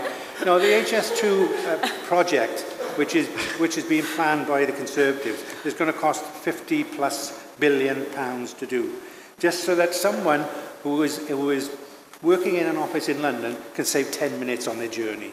And I think that is awful because you're losing green fields, you're losing farms, you're losing businesses, and you're losing houses. And that's no benefit to anybody. So I think it should be scrapped. Martin Pollard? Yeah, just to, just to bring in a slightly different angle, mo- uh, moving away from uh, transport for a moment. Uh, one of the other things we need to recognise is that Wales has huge natural resources. You know, we have uh, tidal power, wind energy, and all of these uh, other things which are crying out for a new green economy within Wales. So one of the things we want to do is, ins- is to set up a business development bank for small businesses to ensure they can get sufficient credit, you know, to set up, to employ more staff. And that's something that we particularly want to see uh, result in a greener, greener economy for Wales. Uh, that's something where I really think there's a lot of chance for innovation and younger people to grab the chances that are, are available and sort of transform our economy into a, a, a different model. Uh, Jenny Willott first. It, great minds, because I just wanted to raise the same thing actually around the, the potential in Wales for the green sector. Um, we have now, over the last five years with the coalition government, we've become the world leader in tidal power and in offshore wind power. And here in Wales, we have massive potential to really build on that. We have some really, really uh, world-leading small businesses in South Wales in, it, that work in the environmental sector. And Cardiff University has some really, really good projects and really good research work in those particular areas. And there's huge potential to um, build on those and get young people um, in, this, in these communities to be able to build up those businesses really successfully. And one thing we brought in was the Green Investment Bank, which is actually the world's first green investment bank, which has an awful lot of money in it to be able to invest in this sector. And in Wales, we have an ideal opportunity. And here in Cardiff, with the universities that we've got, we've got everything that we need to be able to really invest in that and to build that into a really successful business sector and create a lot of jobs in the area. Chris? Uh, yeah, this was, um, it would beat me to it. um, yes, I mean, energy, uh, insulation is a rather dull and not very exciting subject, but the fact is that um, we have some of the highest levels of fuel poverty in Europe, um, where people actually have to decide between eating and heating, and that's not okay. Um, we are committed to investing in a huge um, housing insulation program, which will create uh, many, quite a lot of jobs. Um, but also that we, you know, even though we have, we're developing this wonderful sort of tidal energy and stuff, uh, we don't just want to do it in Wales, we want to do it across the whole of the UK. Uh, we're still 25th out of 27th in, Euro in Europe regarding uh, renewable energy league tables. We have got a long, long way to go because we have really dragged our feet in this country. Um, we, we, you know, listen, they listened to the Green Party 20 years ago, we would be having this conversation. Um, So we have yeah. made real progress because we have um, more than doubled the amount of electricity that generated from renewables over Yeah. the last Well, that wasn't government. hard, there wasn't very much in the there first place. This is true. This is true. But progress is being made. Jo Stevens? Do you want to come, do you want to come in on No, I this? didn't, I didn't have a comment. Okay. Um, Richard Hopkin? No, nothing for me. All right then. Uh, any, anyone particularly want to make a comment on this? Anything on the job market? Jobs. Anything on the jobs, job market? Yeah, I mean, Do you want to talk about the job market? If you look at the success of Jobs Growth Wales, um, a Welsh Labour government scheme in Wales that has put nearly 17,000 young people uh, into work, Um, you compare it with the work programme, which is the equivalent scheme in England, which has had, um, in Wales, we've got an 84% success rate on Jobs Growth Wales. In England, the equivalent scheme in Wales has an 8.8% success rate. And one of the things that we want to do um, in government is to use government procurement to create more apprenticeships and more jobs for young people. So if there are, at any one time, there are billions being spent on government contracts. So as part of any government contract, you will have to offer apprenticeships. Um, we can also use it to close the gender pay gap by introducing um, criteria for any company tendering for government contracts to have equal pay audits and to show that their pay systems are gender-proof. So there are lots of opportunities um, using public procurement to set an example and pave the way for much better jobs, better paid jobs, um, and bringing growth into the economy in Wales. Jenny? just want to respond to the point about Jobs Growth Wales, which is that it's not the equivalent of the of the work programme at all. I mean, they're different, different programmes with a completely different set of people and going into them. Rates. And Job Growth Wales, actually, there was a, an independent assessment of it that showed that most of the people on the scheme would have got work anyway, and it was deemed to be not a great not great value for taxpayers' money. And in fact, the Welsh Government seemed to close it down a couple of weeks ago when uh, all the contracts were terminated without very much notice. So I don't think it's quite the success that it is sometimes painted. I think, I think that's slightly the, unfair, Jenny. I mean, no, you know, you know exactly the, money, the money was there. Um, There's European money involved in it. It had come to the end of its term. It's being replaced by a new funding stream, which is coming through straight away. And I don't think, say, 17,000 jobs for young people can by any means be described as a failure. I didn't say it was a failure. I said that it was a way. It wasn't a good use of taxpayers' money, Well, which is what I the independent agree. Assessment said. agree. And instead, what we have what we have seen is that under the last Labour government, actually, youth at a time when the economy was booming, youth unemployment was going up. Now, under this last Parliament, um, there has been significant investment in creating jobs and in creating apprentices. Um, and as a result, we have seen youth unemployment coming down, even during the time when uh, the economy has been uh, in recession for part of that time, youth unemployment has come down. We've created across the UK 2 million apprenticeships, which is the largest investment in apprenticeships that has ever been seen. We now have more people in work um, than ever before um, since we've been recording it. So there has been real progress made across the UK, um, and youth unemployment has started to come down for the first time in quite a long time. Martin Pollard. Yeah, let's, let's think a bit bigger here. What, what, there is a European target at the moment for young people not being out of employ, who are in, out of employment uh, or educational training for more than four months, that they should be offered a job by the government. And that's a target that Plaid Cymru is committed to, a job, sorry, or a training opportunity. And these are, these are th this, the reason this is so important is that if people are, the longer people are out of work, you know, once you graduate, if you find yourself out, out of work, the longer you're out of work, uh, the, the more likely you are to be, you know, taking benefits, uh, not being able to contribute to the economy and the broader culture of uh, Wales. And so we want to guarantee uh, job or training opportunity for any young person who's out of uh, job, work for more than four months. And it's about that level of investment in opportunities for people, uh, you know, rather than sort of sometimes what seems to be very kind of incremental, gradual change to creating jobs. Does anyone particularly want to come in on that? Jo Stevens? I think we need to look at what kind of jobs are being created. You know, there's talk about these 2 million new jobs, but what sort of jobs are they? Zero hours contracts, jobs on the national minimum wage, insecure employment, bogus self-employment. So these new businesses that are being created are, qu are quite often people who are being classed as self-employed and business people when in fact they're employed. It's just that they're being required to pay their, both their employee national insurance contributions and the employer ones as well. You may have heard of the term umbrella companies. Um, these are rife within the construction industry, particularly in parts of Wales. So those figures about 2 million jobs um, and growth in business are not all they seem. Uh, but Joe, um, uh, about 2.5% of jobs in Wales are zero hours contracts, okay? Uh, Two-thirds of people on those contracts are on them because they want to be on them, because they want flexible hours. We've already taken steps under the coalition government to ban abuse of zero hours contracts, which was, which was quite wrong, which is where you know, the zero hours contract is exclusive. Um, so we've already done that. And the Labour Party itself directly employs staff on zero hours contracts No, through some local councils. So, you know, there's a lot of sanctimony and hypocrisy around this, I'm afraid, from the Labour Party.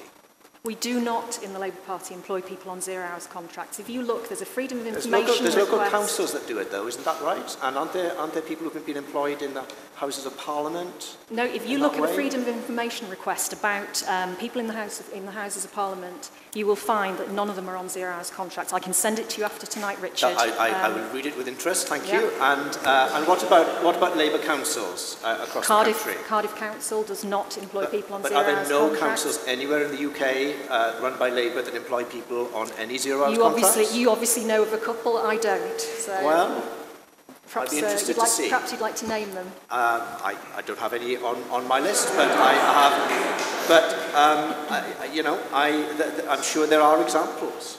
I don't. I have not made this up.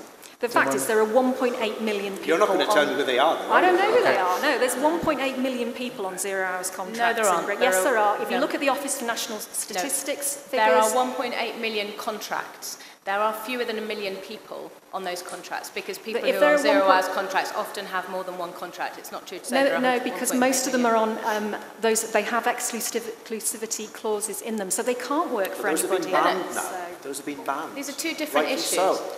Yeah, there are two different issues. There's the um, there are 1.8 million zero hours contracts which is not to say that there are 1.8 million people. There are about 700,000 people on them, which I think is too many, but it's still, it's uh, 1 in 50 of the workforce is on a zero-hours contract. And we did work on this in the Department for Business, and um, 8%, so 8 out of 100 of those contracts, have an exclusivity clause in them. And those are the bits that are pretty abusive and, and so on. So we have banned, we've banned them. We have legislated against that to get rid of those. We've also made sure that Um, the government is working with employers and with trade unions to put together um, a code of practice to make sure that where there are zero hours contracts, they are um, operating um, well for both sides. Because one of the problems is that you can't ban them outright because actually as Richard said there are plenty of people who want to be on zero hours contracts. There are plenty of students who are on zero hours contracts who use the flexibility to be able to change the hours they're working around when they've got exams or essays and deadlines.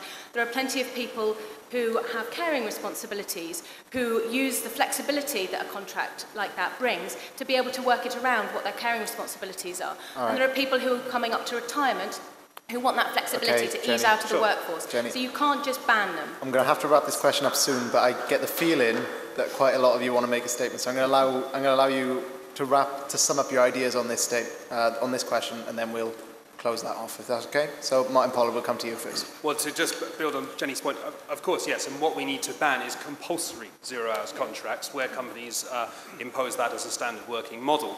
Uh, but also, I go back to the point about the living wage. Uh, we have, as I mentioned, one in four people in Cardiff, that's, and in fact, it's one in three women uh, who work but are paid less than the amount that they need to live on, and that's the living wage, which is currently £7.85 an hour. Plaid Cymru proposes that the minimum wage should become the living wage in order to ensure that no one uh, has the indignity of working but not actually being able to support themselves and their families. Oh, and that's okay. a vital, uh, vital component that we've Um, been missing out so far. I'm going to, I'm going to come to Anthony Raybould. Yeah, we, we say that the zero-hour contract should be banned. The only exception to that is if the, the person being employed says they want to be on one. There should not be zero-hour contract as a norm. What they should be doing then after that, after three months, they should be offered a full-term contract and not anything less than that. But is, I can't, is, I can't is that UKIP policy? Sorry? Is that UKIP policy? Yeah. Is it really? Oh, okay. Uh, Jo Stevens, do you want to make a final, final Yeah, I was comment just to make one point on zero hours contracts, which is they're, they're not flexible because they're about power, and all the power and the control is with the employer. It's, you know, there's no flexibility in terms of um, wanting to be on a zero hours contract if you do not know from one week to the next, A, whether you're going to get any work, and B, how much you're going to get paid. So Well, there's nothing that's what I'm flexible saying. about that. We would, we would ban There's- zero-hour contracts. Really not much time left on this question, It so... actually depends because the average number of hours that someone on a zero hours contract works is 25 hours a week. Uh, the life, work-life balance why didn't they get a um, satisfaction amongst those people on those contracts is much higher than those who are on full-time contracts. So I think we have to accept that there are very different types of contracts that all fall under that definition. And you can't just have one rule that applies to everybody who's on that type of contract because that doesn't take into account the fact that some people actually want to work on it, others don't. Okay, I'm going to have to wrap this up, sorry. Um, after the uh, broadcast finishes, CUTV and Xpress Radio will be simulcasting a, uh, a discussion with uh, the party leaders for all the student representatives for the, uh, for the parties. Um, I've been asked to inform those party representatives if they could make their way upstairs to get ready for that, if that's okay. Don't know if they're around. Um, beautiful. Um, last couple of, we've got, we've got two quick fire questions. We're going to go from Martin, we're going to come down for this. Um, we've got two quick fire questions for you to finish off, and that are, those questions are, where is the cheapest pint in Cardiff Central? And what is your favourite Cardiff Central takeaway? We'll start with Martin and we'll make our way down.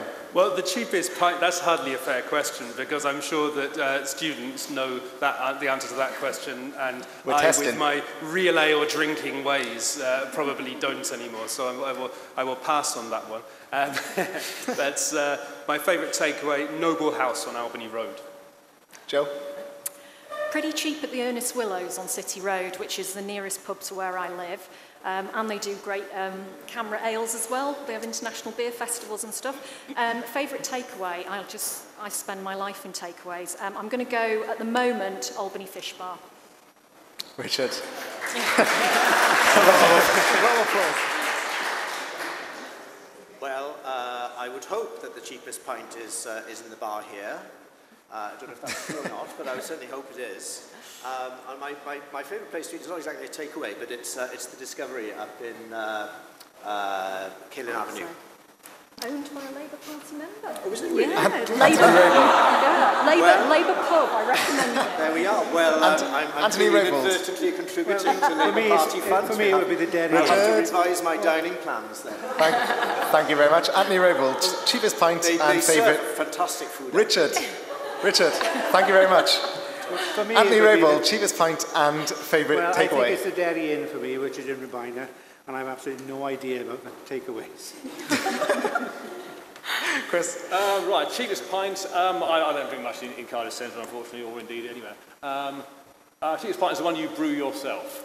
Um, as to the cheapest take or the best take, cheapest takeaway, um, again, I actually go Jan's Fish Bar in Whitchurch which is actually just slightly north of the of the constituency because they do slightly more better chips than the one on Albany Road. So uh, I have to go with that one. Ooh, yeah, check them out. Seriously, no, no, check them out. Seriously, they're, they're, they're very. Jenny, fi- Jenny, final thoughts? Well, I have a two-year-old and a four-year-old, so I don't get out very much. It's quite sad to admit, but so I drink at home, which is probably just as cheap as anything. Um, and my favourite takeaways, particularly in the election campaign, I tend to alternate between Indigo in Albany Road and Albany Fish Bar. Um, and I had already written that down before people said, but I think they are the best. Okay. Um, thank you for those. Uh, we still, of course, have your closing statements, uh, your minute-long closing statements. So um, I'd like to open those by going first to uh, Chris Von Ruhland, please. Closing statement, right, that wasn't on the list. Right, okay, so, um, uh, right, as I said at the beginning, um, we are facing a serious ecological crisis. It's something which has been completely missed off the political agenda in this election, indeed in the last election and the one before that, and that is climate change. We are, doing, we are not doing anywhere near enough. There's a complete lack of urgency regarding this issue. And it's really a consequence, as I mentioned at the beginning, of the economic system, uh, the economic narrative we follow. Um, we need to divest it from fossil fuels extremely rapidly. We need to leave most of them in the ground. We want to ban fracking, uh, do, not, do not engage in that sends completely the wrong message out um, to the rest of the world. Um, and we need a massive investment in renewable energy if we are going to leave anything half decent to our descendants. Yeah. Anthony Raybould. Yeah, uh, we don't go on too much about the, the vote for young people. But the same as the other parties do. But other, other, parties have let them down over the years. Policy that uh, have the substance that will help them get on in life and attain higher living standards. But come to one point is about fracking. We are not opposed to fracking, but we want to make sure that it's done in a proper way and it's being properly uh, investigated and make sure it's okay. And we also, with the fracking, we want to invest in the local communities and give them a proportion of whatever profits are made so they can build more, they can build more houses if they wish to, or reduce uh, the, uh, the council tax and things like that. This is what we intend to do. Okay, Richard Hopkin. Uh, well, in closing, I, I would just like to say that uh, this is the most important election in, in, in a generation, and um, whilst I think you know all of us uh, on the panel, you know, want to deliver you know high, higher living standards for everybody and a strong economy, we've all got very very different ideas uh, about uh, how to do it. And I would ask you to think very carefully before casting your vote. Look at the record of the Conservative-led government. We've got record growth, record numbers of people in employment, record low inflation. Um, let's stick with that plan. Um, let's not take a risk with a weak uh, Labour administration um, propped up uh, by the SNP who would encourage another 148 billion of borrowing. Uh, you know, we've got to get this deficit down. You know, you've heard a lot of talk about austerity, and yes, times are tough, but we're still borrowing more than 90 billion pounds a year, more than we're raising in taxes. We really have to get that, that, that borrowing down to pay for the public services that we really need and that we need supported by and a strong economy. time. Thank you very much, Richard Hopkin. Uh, Martin Pollard, please. Well, there is, uh, people keep talking about the clear choice that we face at the election.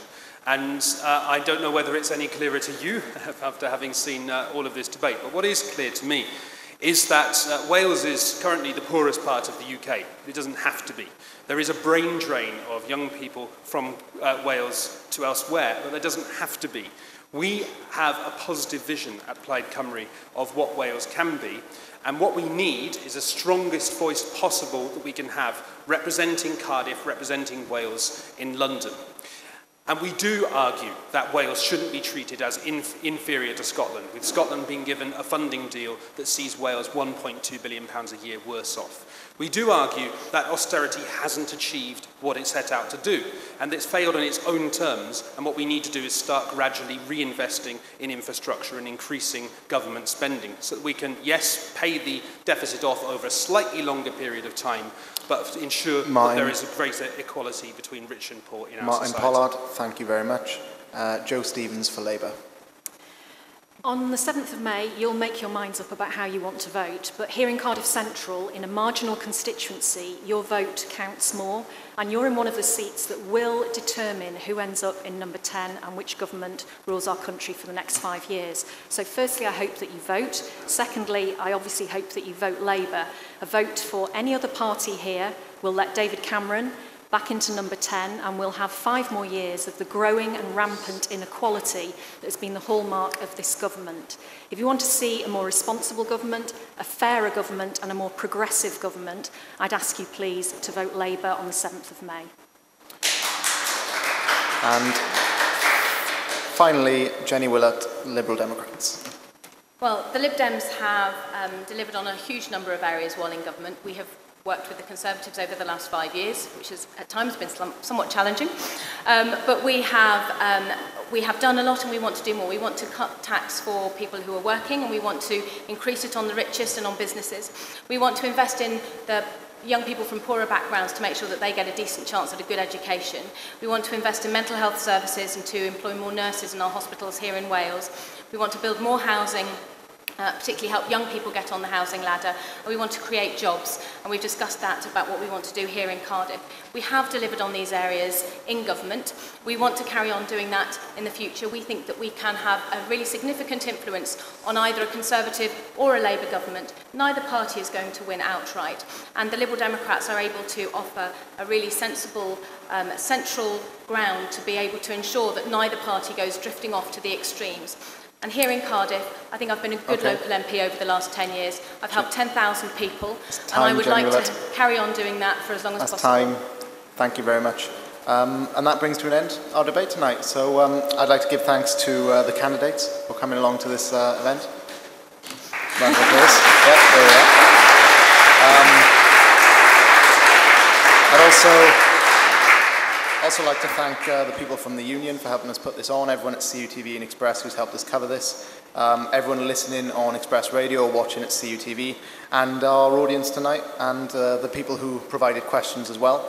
Uh, the coverage doesn't stop here. If you, uh, if you tune to Xpress Radio or CUTV, we have uh, live reaction and analysis with uh, political representatives from the student parties here at Cardiff University. Just before we leave, I'd like to uh, reinforce something that a couple of the uh, members of the panel tonight have said, which is uh, your vote in this constituency really does matter. It's a constituency overwhelmingly populated by students, and it's a constituency that could potentially sway the result of this general election. So it's important to vote across the UK, but it is really, really crucial that you make the decision because it will be students who decide this constituency. And hopefully we've helped you decide who you want to, uh, to run, this, run this constituency for the next five years tonight. So uh, thank you for listening, thank you for watching, thank you for attending, and good night.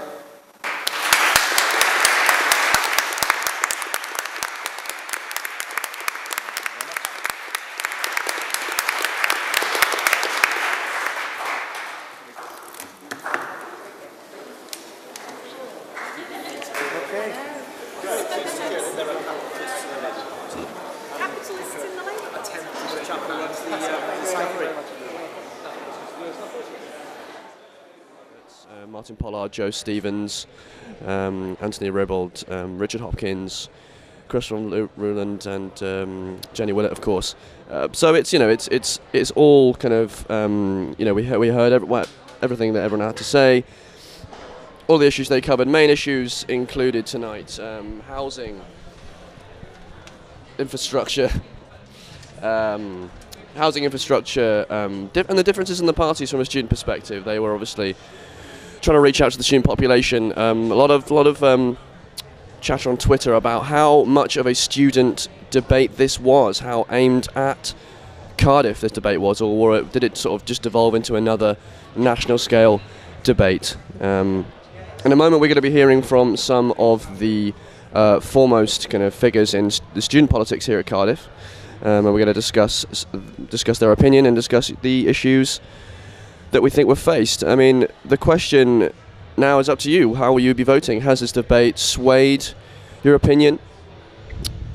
Do you feel do you feel you want to vote at all? Are you going to do a Russell Brand and uh, and spoil the ballot? It's up to you. So we hope that you enjoyed what the candidates had to say, and thanks also to Jamie Williams for um, hosting tonight. Did a very very good job. Um, lots of um, different opinions there. I feel that a lot of all the parties had um, a fairly equal say. Obviously, some parties had more to say than others on policy, but that may necessarily may, may be down to a um, an experience thing, a parliamentary um, experience. So coming up next, if you just joined us um, after the debate, we're going to be doing a live summation with uh, some of the um, students who are um, representing their their particular uh, political party.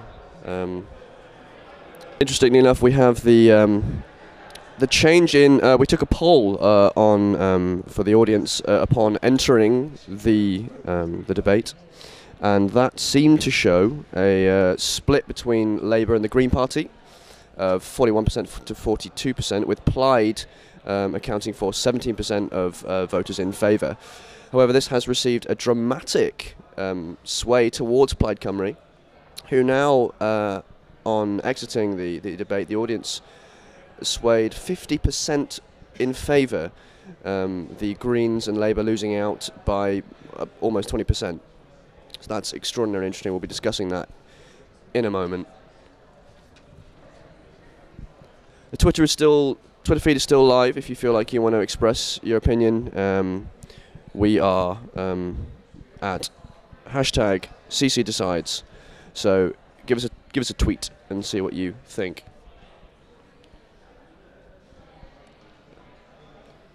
Brilliant. Okay, I think we are now live, uh, and I am joined by uh, some of our uh, at Cardiff our foremost kind of candidates uh, in our um, in our student society. So, chaps, you want to introduce yourselves and which party you represent? Yeah, I'm Daniel Roberts, and I'm from Plaid Cymru, the Party of Wales. I'm Robert Hizzler, I'm from the Lib Dem Society. Jack Pickering from the Green Party. Hi, I'm Harry Thompson. I'm representing the Labour Party. Lovely. Now, chaps, I'm going to be quite um, quite blunt about this. Um, who won tonight? Do you think? Well, judging by the polls we just heard, it sounds like uh, a lot of people in the audience were convinced by, by Plaid Cymru, Party Wales, and by Martin Pollard, our candidate in Cardiff Central. And th- this is something which happens quite a lot. You know, the, if people get to hear Pl- Plaid Cymru's message, which you know it isn't displayed in the same way in the British media as it, as it pro- or the Welsh media as it probably should be. And but if you do hear our message, people are more likely to vote for us because if you live in Cardiff, the only party who are going to fight for you in Westminster is, is Plaid Cymru. And I think if people can read that message or however they want to consume it, um, they're more attracted to our message and they want to vote for us. What do we think of that, Harry, over there with Labour? Uh, I'd have to disagree with that. I think the poll probably had a little bit of a small sample size. I don't think it was quite scientific. Uh, any any, any sample not too bad size is a sample size, Harry. It's I mean- indicative. It's indicative. But I, th- I Sure think it's the committed voters listening.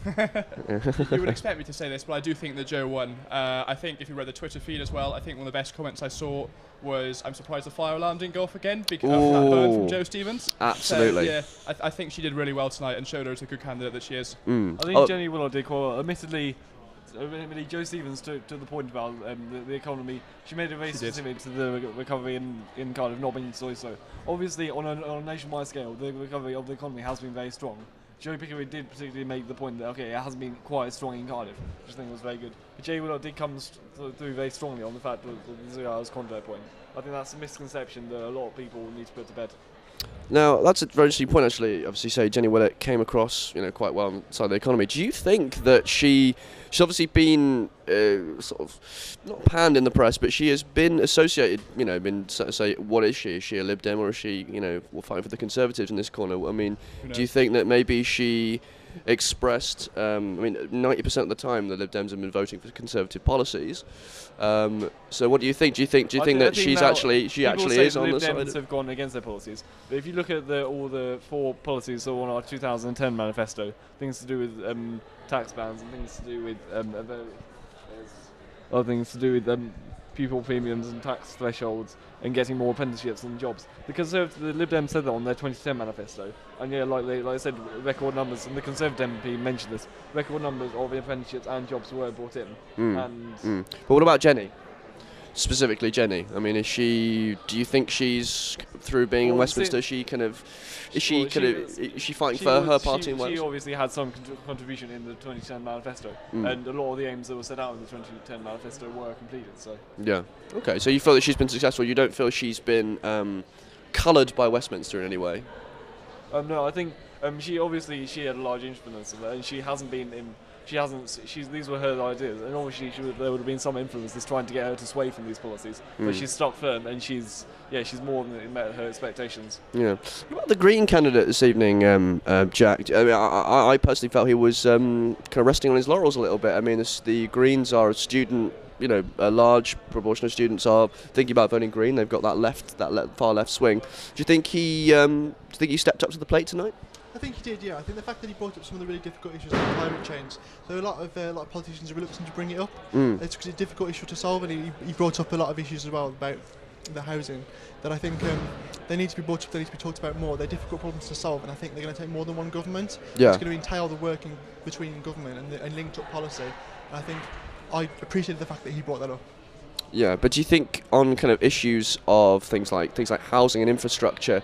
I mean, he, he actually when we when we came in on the kind of national level, he said you know he said I did I don't buy internationalism, and he kind of drew it back away from that kind of stuff. Do you think he was kind of maybe shying away from the more um, how to say it? Um, uh, mainstream political issues, you know, such as the bedroom tax and infrastructure and things like that? Do you think he was kind of shying away from them because maybe the green policies aren't necessarily as strong? What, what do you? no, I what do you disagree think? with you there because I think a lot- among young people, um, issues like climate change and housing they poll higher. So I think the fact that he brought those up, he does know his electorate. He does know Mm. what people are talking about. He does know, know what people care about. That's it. I think one of the things that didn't obviously the Green Party's main main pledge is that they are green and so they do a lot of good things. Obviously, it wasn't discussed as much with among the other parties, but the Lib Dems are in fact one of the strongest parties that fight for lib, that fight for climate change. They do. They have a plan, a plan to plant one million trees for every child born. No, uh, one tree for every child born. They've got some stupid, got a very high amount of trees they have planted since. Um,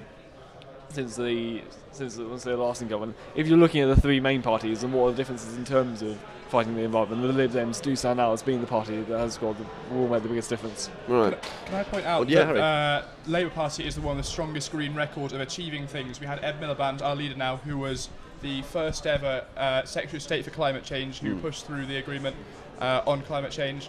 Uh, the biggest green energy company in the United Kingdom, Ecotricity, has donated to the Labour Party and explicitly said the reason he's donating to the Labour Party is, is because the Labour Party is the only political party in the United Kingdom who will act and be able to act on climate change. Brilliant. I think um, you've got to understand as well, like a, a large part of the energy solution, or the solution to the energy crisis that we're going to face, is that we need a lot of uh, community energy, and the Greens have played a big role in supporting some of those projects and bringing them to national attention. I think that's one of the key roles that we can that needs to be done, and I think that's what the, the Green Party does very well. The Green Party is good at saying things, but I think when it comes to climate change, what we need to do is do things. I think that's why the biggest ed- green energy company in the UK is backing Labour, because we're about actions and not just words. Because It's quite easy to say that when you've already been in government, though. We, well, this is the thing. We've got to admit that climate change is a very pressing issue. But you we have to- deal you have- you have to look at We'd the fact that are on you going to get- and Greens aren't just aren't going to win. If, if, if you are going to go down are you going to get bogged down over investing, over spending in that when you haven't got the money there to because the economy is in such a state? Or Let's let's bring in Plaid Cymru on that on one. the point of um, spending on the environment, we have to spend on the environment. It's essential because uh, it, it, if we want to have sustainable economic growth in the future, it, we have to invest in, in, in green energy and green um, production of energy. And this is something that's at the heart of Plaid Cymru's message because um, I, I think one of the hard things to sell about acting on climate change is that there's no direct benefit on people. People have got more pressing concerns a lot of the time on an, on an individual basis. And what we in Plaid Cymru are, are saying is that not only do we, does the world need uh, to act on climate change because we need sustainable economic growth and something that we can we can actually keep going rather than the current system, but also Wales could benefit massively from the from, from the changes that need to be made from climate change.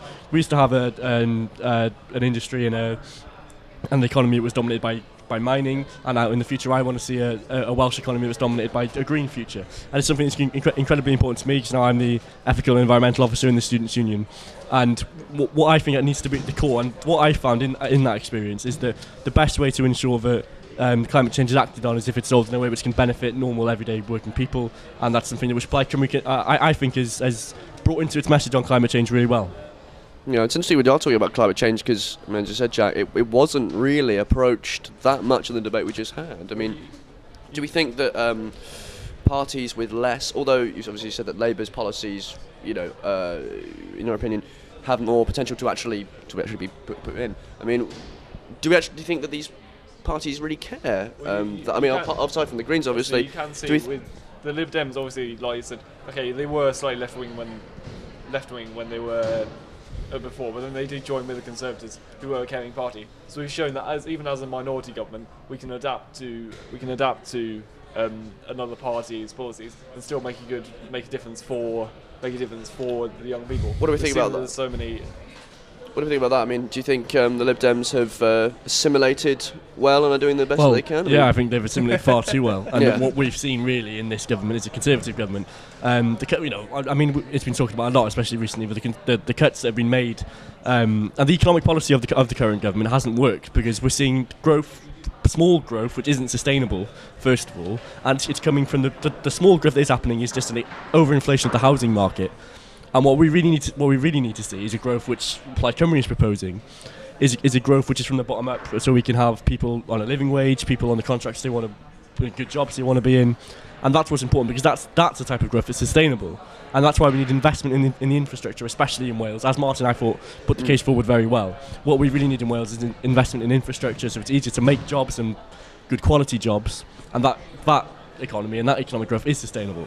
And I think the Lib Dems haven't been able to put that forward. in say, I think you're, you're missing the point there. When the Lib Dems and the Conservatives, when they said went into the government, they set out a plan and they said, okay, we're going to reduce the deficit by half. Not only, no, they said they're going to get rid of the deficit. They did actually manage to get rid of part of the deficit. They've shown, okay, it may not be as hard, as fast as they want, but it is still moving in the, Yeah, right, but the right the- the pace- taking on, taking alongside all the into account, account all the other things. I think The, the important thing is that the Lib Dems didn't stand on that platform. Jenny Willott kept mentioning her manifesto in that debate, and it doesn't really matter what's in the Liberal Democrats manifesto anymore because she never votes for anything in it. She could be in coalition with Labour, she could be in coalition with the, uh, with the Conservatives, but it doesn't matter because she'll just vote for whatever the bigger party tells her, as we've seen in the last five years.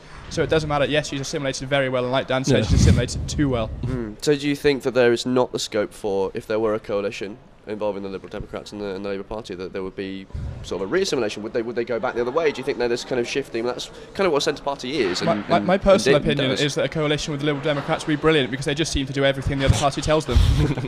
you just want the So, votes. I, I have to say it does. The Liberal Dems, no you can see, like, like, how many times, I've always said this in the speech, we set out on our manifesto four policies that we, on the 2010 manifesto, policies that we were going to achieve, and we did them. It Mm. wasn't, these were policies that we managed to, we adapted with the Conservative government. These were our policies, they didn't, they were, they were, these were the four policies on our, the first page of our manifesto. There weren't some tiny things that we were going to slot in.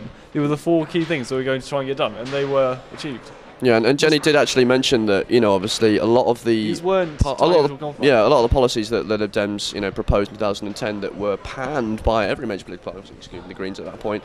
Um, but um, they were panned, and then now they are being brought back. So what do we think about that? I mean, would, do we do we think that um, although the you know the Liberal Dems was, was sort of overlooked at the time, do we think they actually, you know, it, although they are the minority party, do they still have the capability to govern?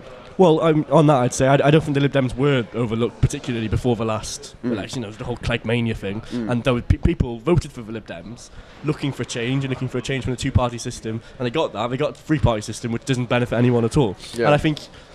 You know, even if you did get 80% or whatever it was of the Lib Dem manifesto implemented, you, I, I, well, I, I can't imagine that many people are proud of what this government's been doing. And like I said ab- about the economic growth, I mean, they, they talk about the economic growth, and the image of this government is, you know, they've been ruthless, but they've been um, responsible. And that's just not true because the, the economic growth hasn't been to responsible. The minimum wage to raise the minimum wage. I know it's in a lot of Labour Labour's manifestos policies. The current government are in a position to raise the minimum wage. To Jenny was saying that she, she- they will be able to raise it in the coming years because of the stability that's being Raising formed. raising the minimum wage to a living wage isn't something which we should be aspiring to. It's something which should be done because it has to be done. It's a moral Yeah, argument but it's as been done. It's, economic been- it's been argument. done in a sustainable way, like you're saying. hasn't been done In the as well, it it will be hasn't. done in the Oh. passage of time. Tell you, on the on the um, um, subject of kind of mor- morality, that the you know, Greens have always advocated a fairer society. Um, do you think that kind of came across in what we just heard there in their in their policies?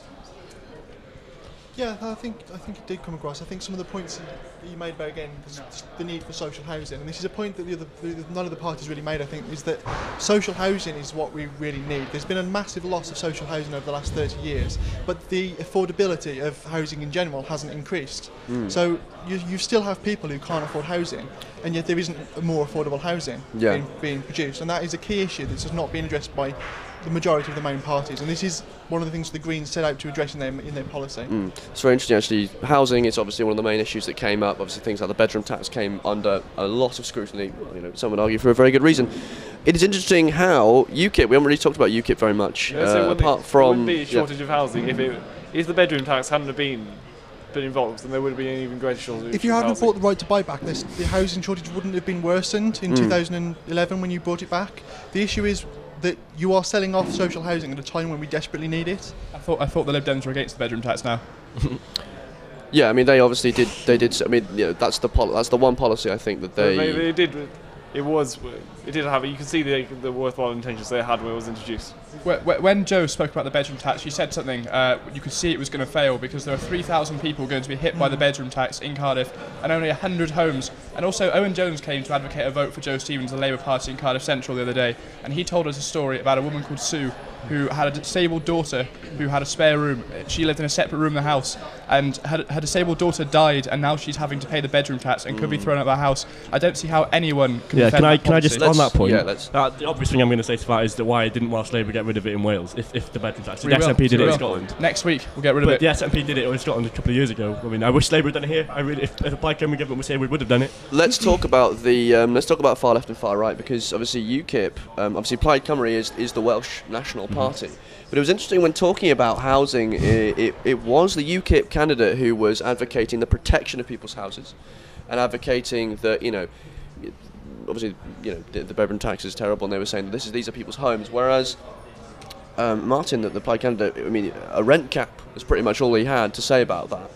Well, Um, no, I think, I mean, everyone in Plaid Cymru acknowledges that the, the bedroom tax is. I mean, we would have got rid of it in Wales instantly. I mean, Mm. that's what I, like, like the SNP did in Scotland. Yeah. And I think the moral argument is is, is, is, is very obvious, and I, I absolutely agree with what Harry said. You know, some of the cases have been really despicable, and I've been on marches in Cardiff against the bedroom, against the bedroom tax.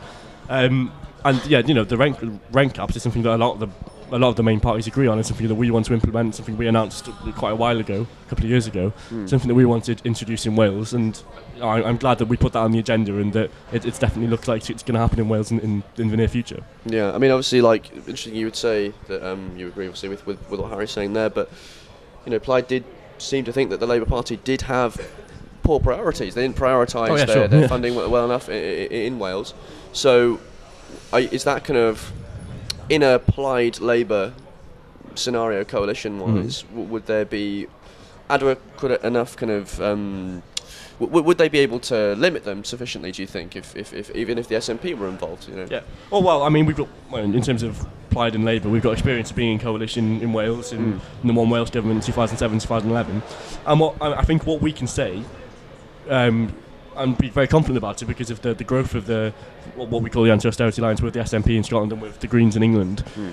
What what we said we'll do, and which is something which I I would love for this to happen. I really think it's the best thing for the country, is that we can work together and we can work with the minority Labour government to ensure that the Labour Party is being dragged to a left, and you know the Labour's, Labour's natural home is the left, and a lot of people join the Labour Party for, for very good reasons, and unfortunately the party itself has moved um, centrally, you know, since Tony Blair really, and Mm. hasn't really moved back as far as I can see under Ed Miliband, and so if, if we can do that, if we if, if we can have Ed Miliband as Prime Minister, but with a strong anti-austerity line dragging to the left and implementing. Um, you know, sustainable and fair policies. Then that's Mm. something that, that I definitely want to see. And the only way you can do that is if as many people as possible in Wales vote for Plaid Cymru. Uh, they're talking about dragging us to the left. In Cardiff Central, where nearly everyone who's watching this will be voting, Cardiff Central, we have Jo Stevens, who's a brilliant local candidate. She's anti-fracking, anti-Trident. She's a socialist. If you want to put a socialist in Parliament, vote for Yeah. Jo, who can actually win and throw Jenny Willott out, who's been nothing better than a Tory. Don't vote for Plaid, who will never win in Cardiff Central. Well, I mean, we- we'll, we'll only never win for in, in, in, in Cardiff Central for as long as people think A socialist vote- can win next week, though, not in 10 Again, years. though, it's that whole two part two party mentality. I think there is that idea that like you, if all the smaller parties are brought into the, the fold, it will change the way politics works. It will bring in some more radical policies. And I think So you've that, got, that you've just needs to happen to some that degree. People are tired of voting. let's- for- let's have You've got to bear in mind that one a vote for say like Plaid is a vote that's going to be coming away from a vote for Plaid is a vote that's going to be coming away from Labour. And it's a vote that's going to be perhaps making yeah obviously that's don't one think that's, that's that's one that's that's the view. And I think really with spending as you- as you've seen is a very risky option. If you if you allow spending to get out of hand and and introduce a lack of a lack of reg- regulation, And there's always a point. Oh yeah, this next spend is going to be the one that's going to solve Yeah, the economy. Do you think that's true though? I mean, do you think that um, do you think that a vote for Plaid or the vote for the Greens is going to detract? You know, i- is, is actually realistically going to detract from Labour because obviously, are we looking at getting a majority? Then do you think? Uh, we- we're aiming for majority. It's definitely doable. It was looking good in a lot of marginal seats. Uh, one of the things that may stop Labour getting majority is people voting for the SNP Mm. in Scotland or Plaid Cymru here. You know, if, if this seat is going to be very close, uh, the polls are all show- saying it's going to be very close in Cardiff Central. If Plaid Cymru and the Greens get 500 votes each, they can let in a, a basically Tory light MP over a proper socialist. So, but you don't think there's a case for voting reform in that case? Uh, I do Because- think there's a case for voting reform. Yeah, see, but the, the thing is, if we're getting the more votes, there should be a more representative system. There's- The Yeah. constituency bounds should be redrawn, should be rebuilt to take into account. I think that's is what essentially needs to happen after this election because we have a wi- wildly disproportionate electoral system. I, I think uh, I, I, to be honest, when it comes to electoral systems, it, it's not really my priority. What, like we're talking with people affected by the bedroom tax and people who are struggling. I don't think they really care about what electoral system we use. I think they care about putting food on their plates. We've got an election say- next week. We should talk about that and the candidates we've got in Cardiff Central But- and Jo Stevens, who's going to stand up for those people. Say you have, need so to- say you have so many. People need Let's have that. Let's let's have the Greens first. So, so say you have uh, over the country a huge number of people voting Green, but because they're all dispersed or are anti- anti-austerity votes, then you got get an, an austerity government. Doesn't that mean that you have a a unrepresentative government in that case? Well, there It- aren't it, do- there, are- does there matter aren't because there aren't huge the amounts of people voting for the Green Party there. There, there may well be. I don't think there will be. There hasn't before. Yeah, I think, that, I think that's something which, which comes across quite a lot in the arguments from the Labour Party that they, they take for granted that a lot of the people are going to vote Lib Dems, and, uh, sorry, vote Labour, and that if you don't vote for Labour, you're letting the Tories in. And then Mm. that's not what we're saying. What we're saying is that Labour aren't aren't doing enough to earn, to earn our votes. That's, and that's why a lot of people are going towards the Green Party, and a lot of people are going to Plaid Cymru. I think I think it's pr- You pretty like you can't take people's votes for granted. Cymru, uh, taking people's pe- uh, people's votes for granted and saying that we're complacent when you call yourself the Party of Wales as the third It's biggest it's- it's- party it's in name. Wales. It's Plaid Cymru, it's just our name. That's, that's what literally yeah, what it Party translates of to. Wales, exactly. Yeah. You're not the Party of Wales at all. And I think when Well, it comes to Labour taking people's votes for granted, uh, I don't think we do at all.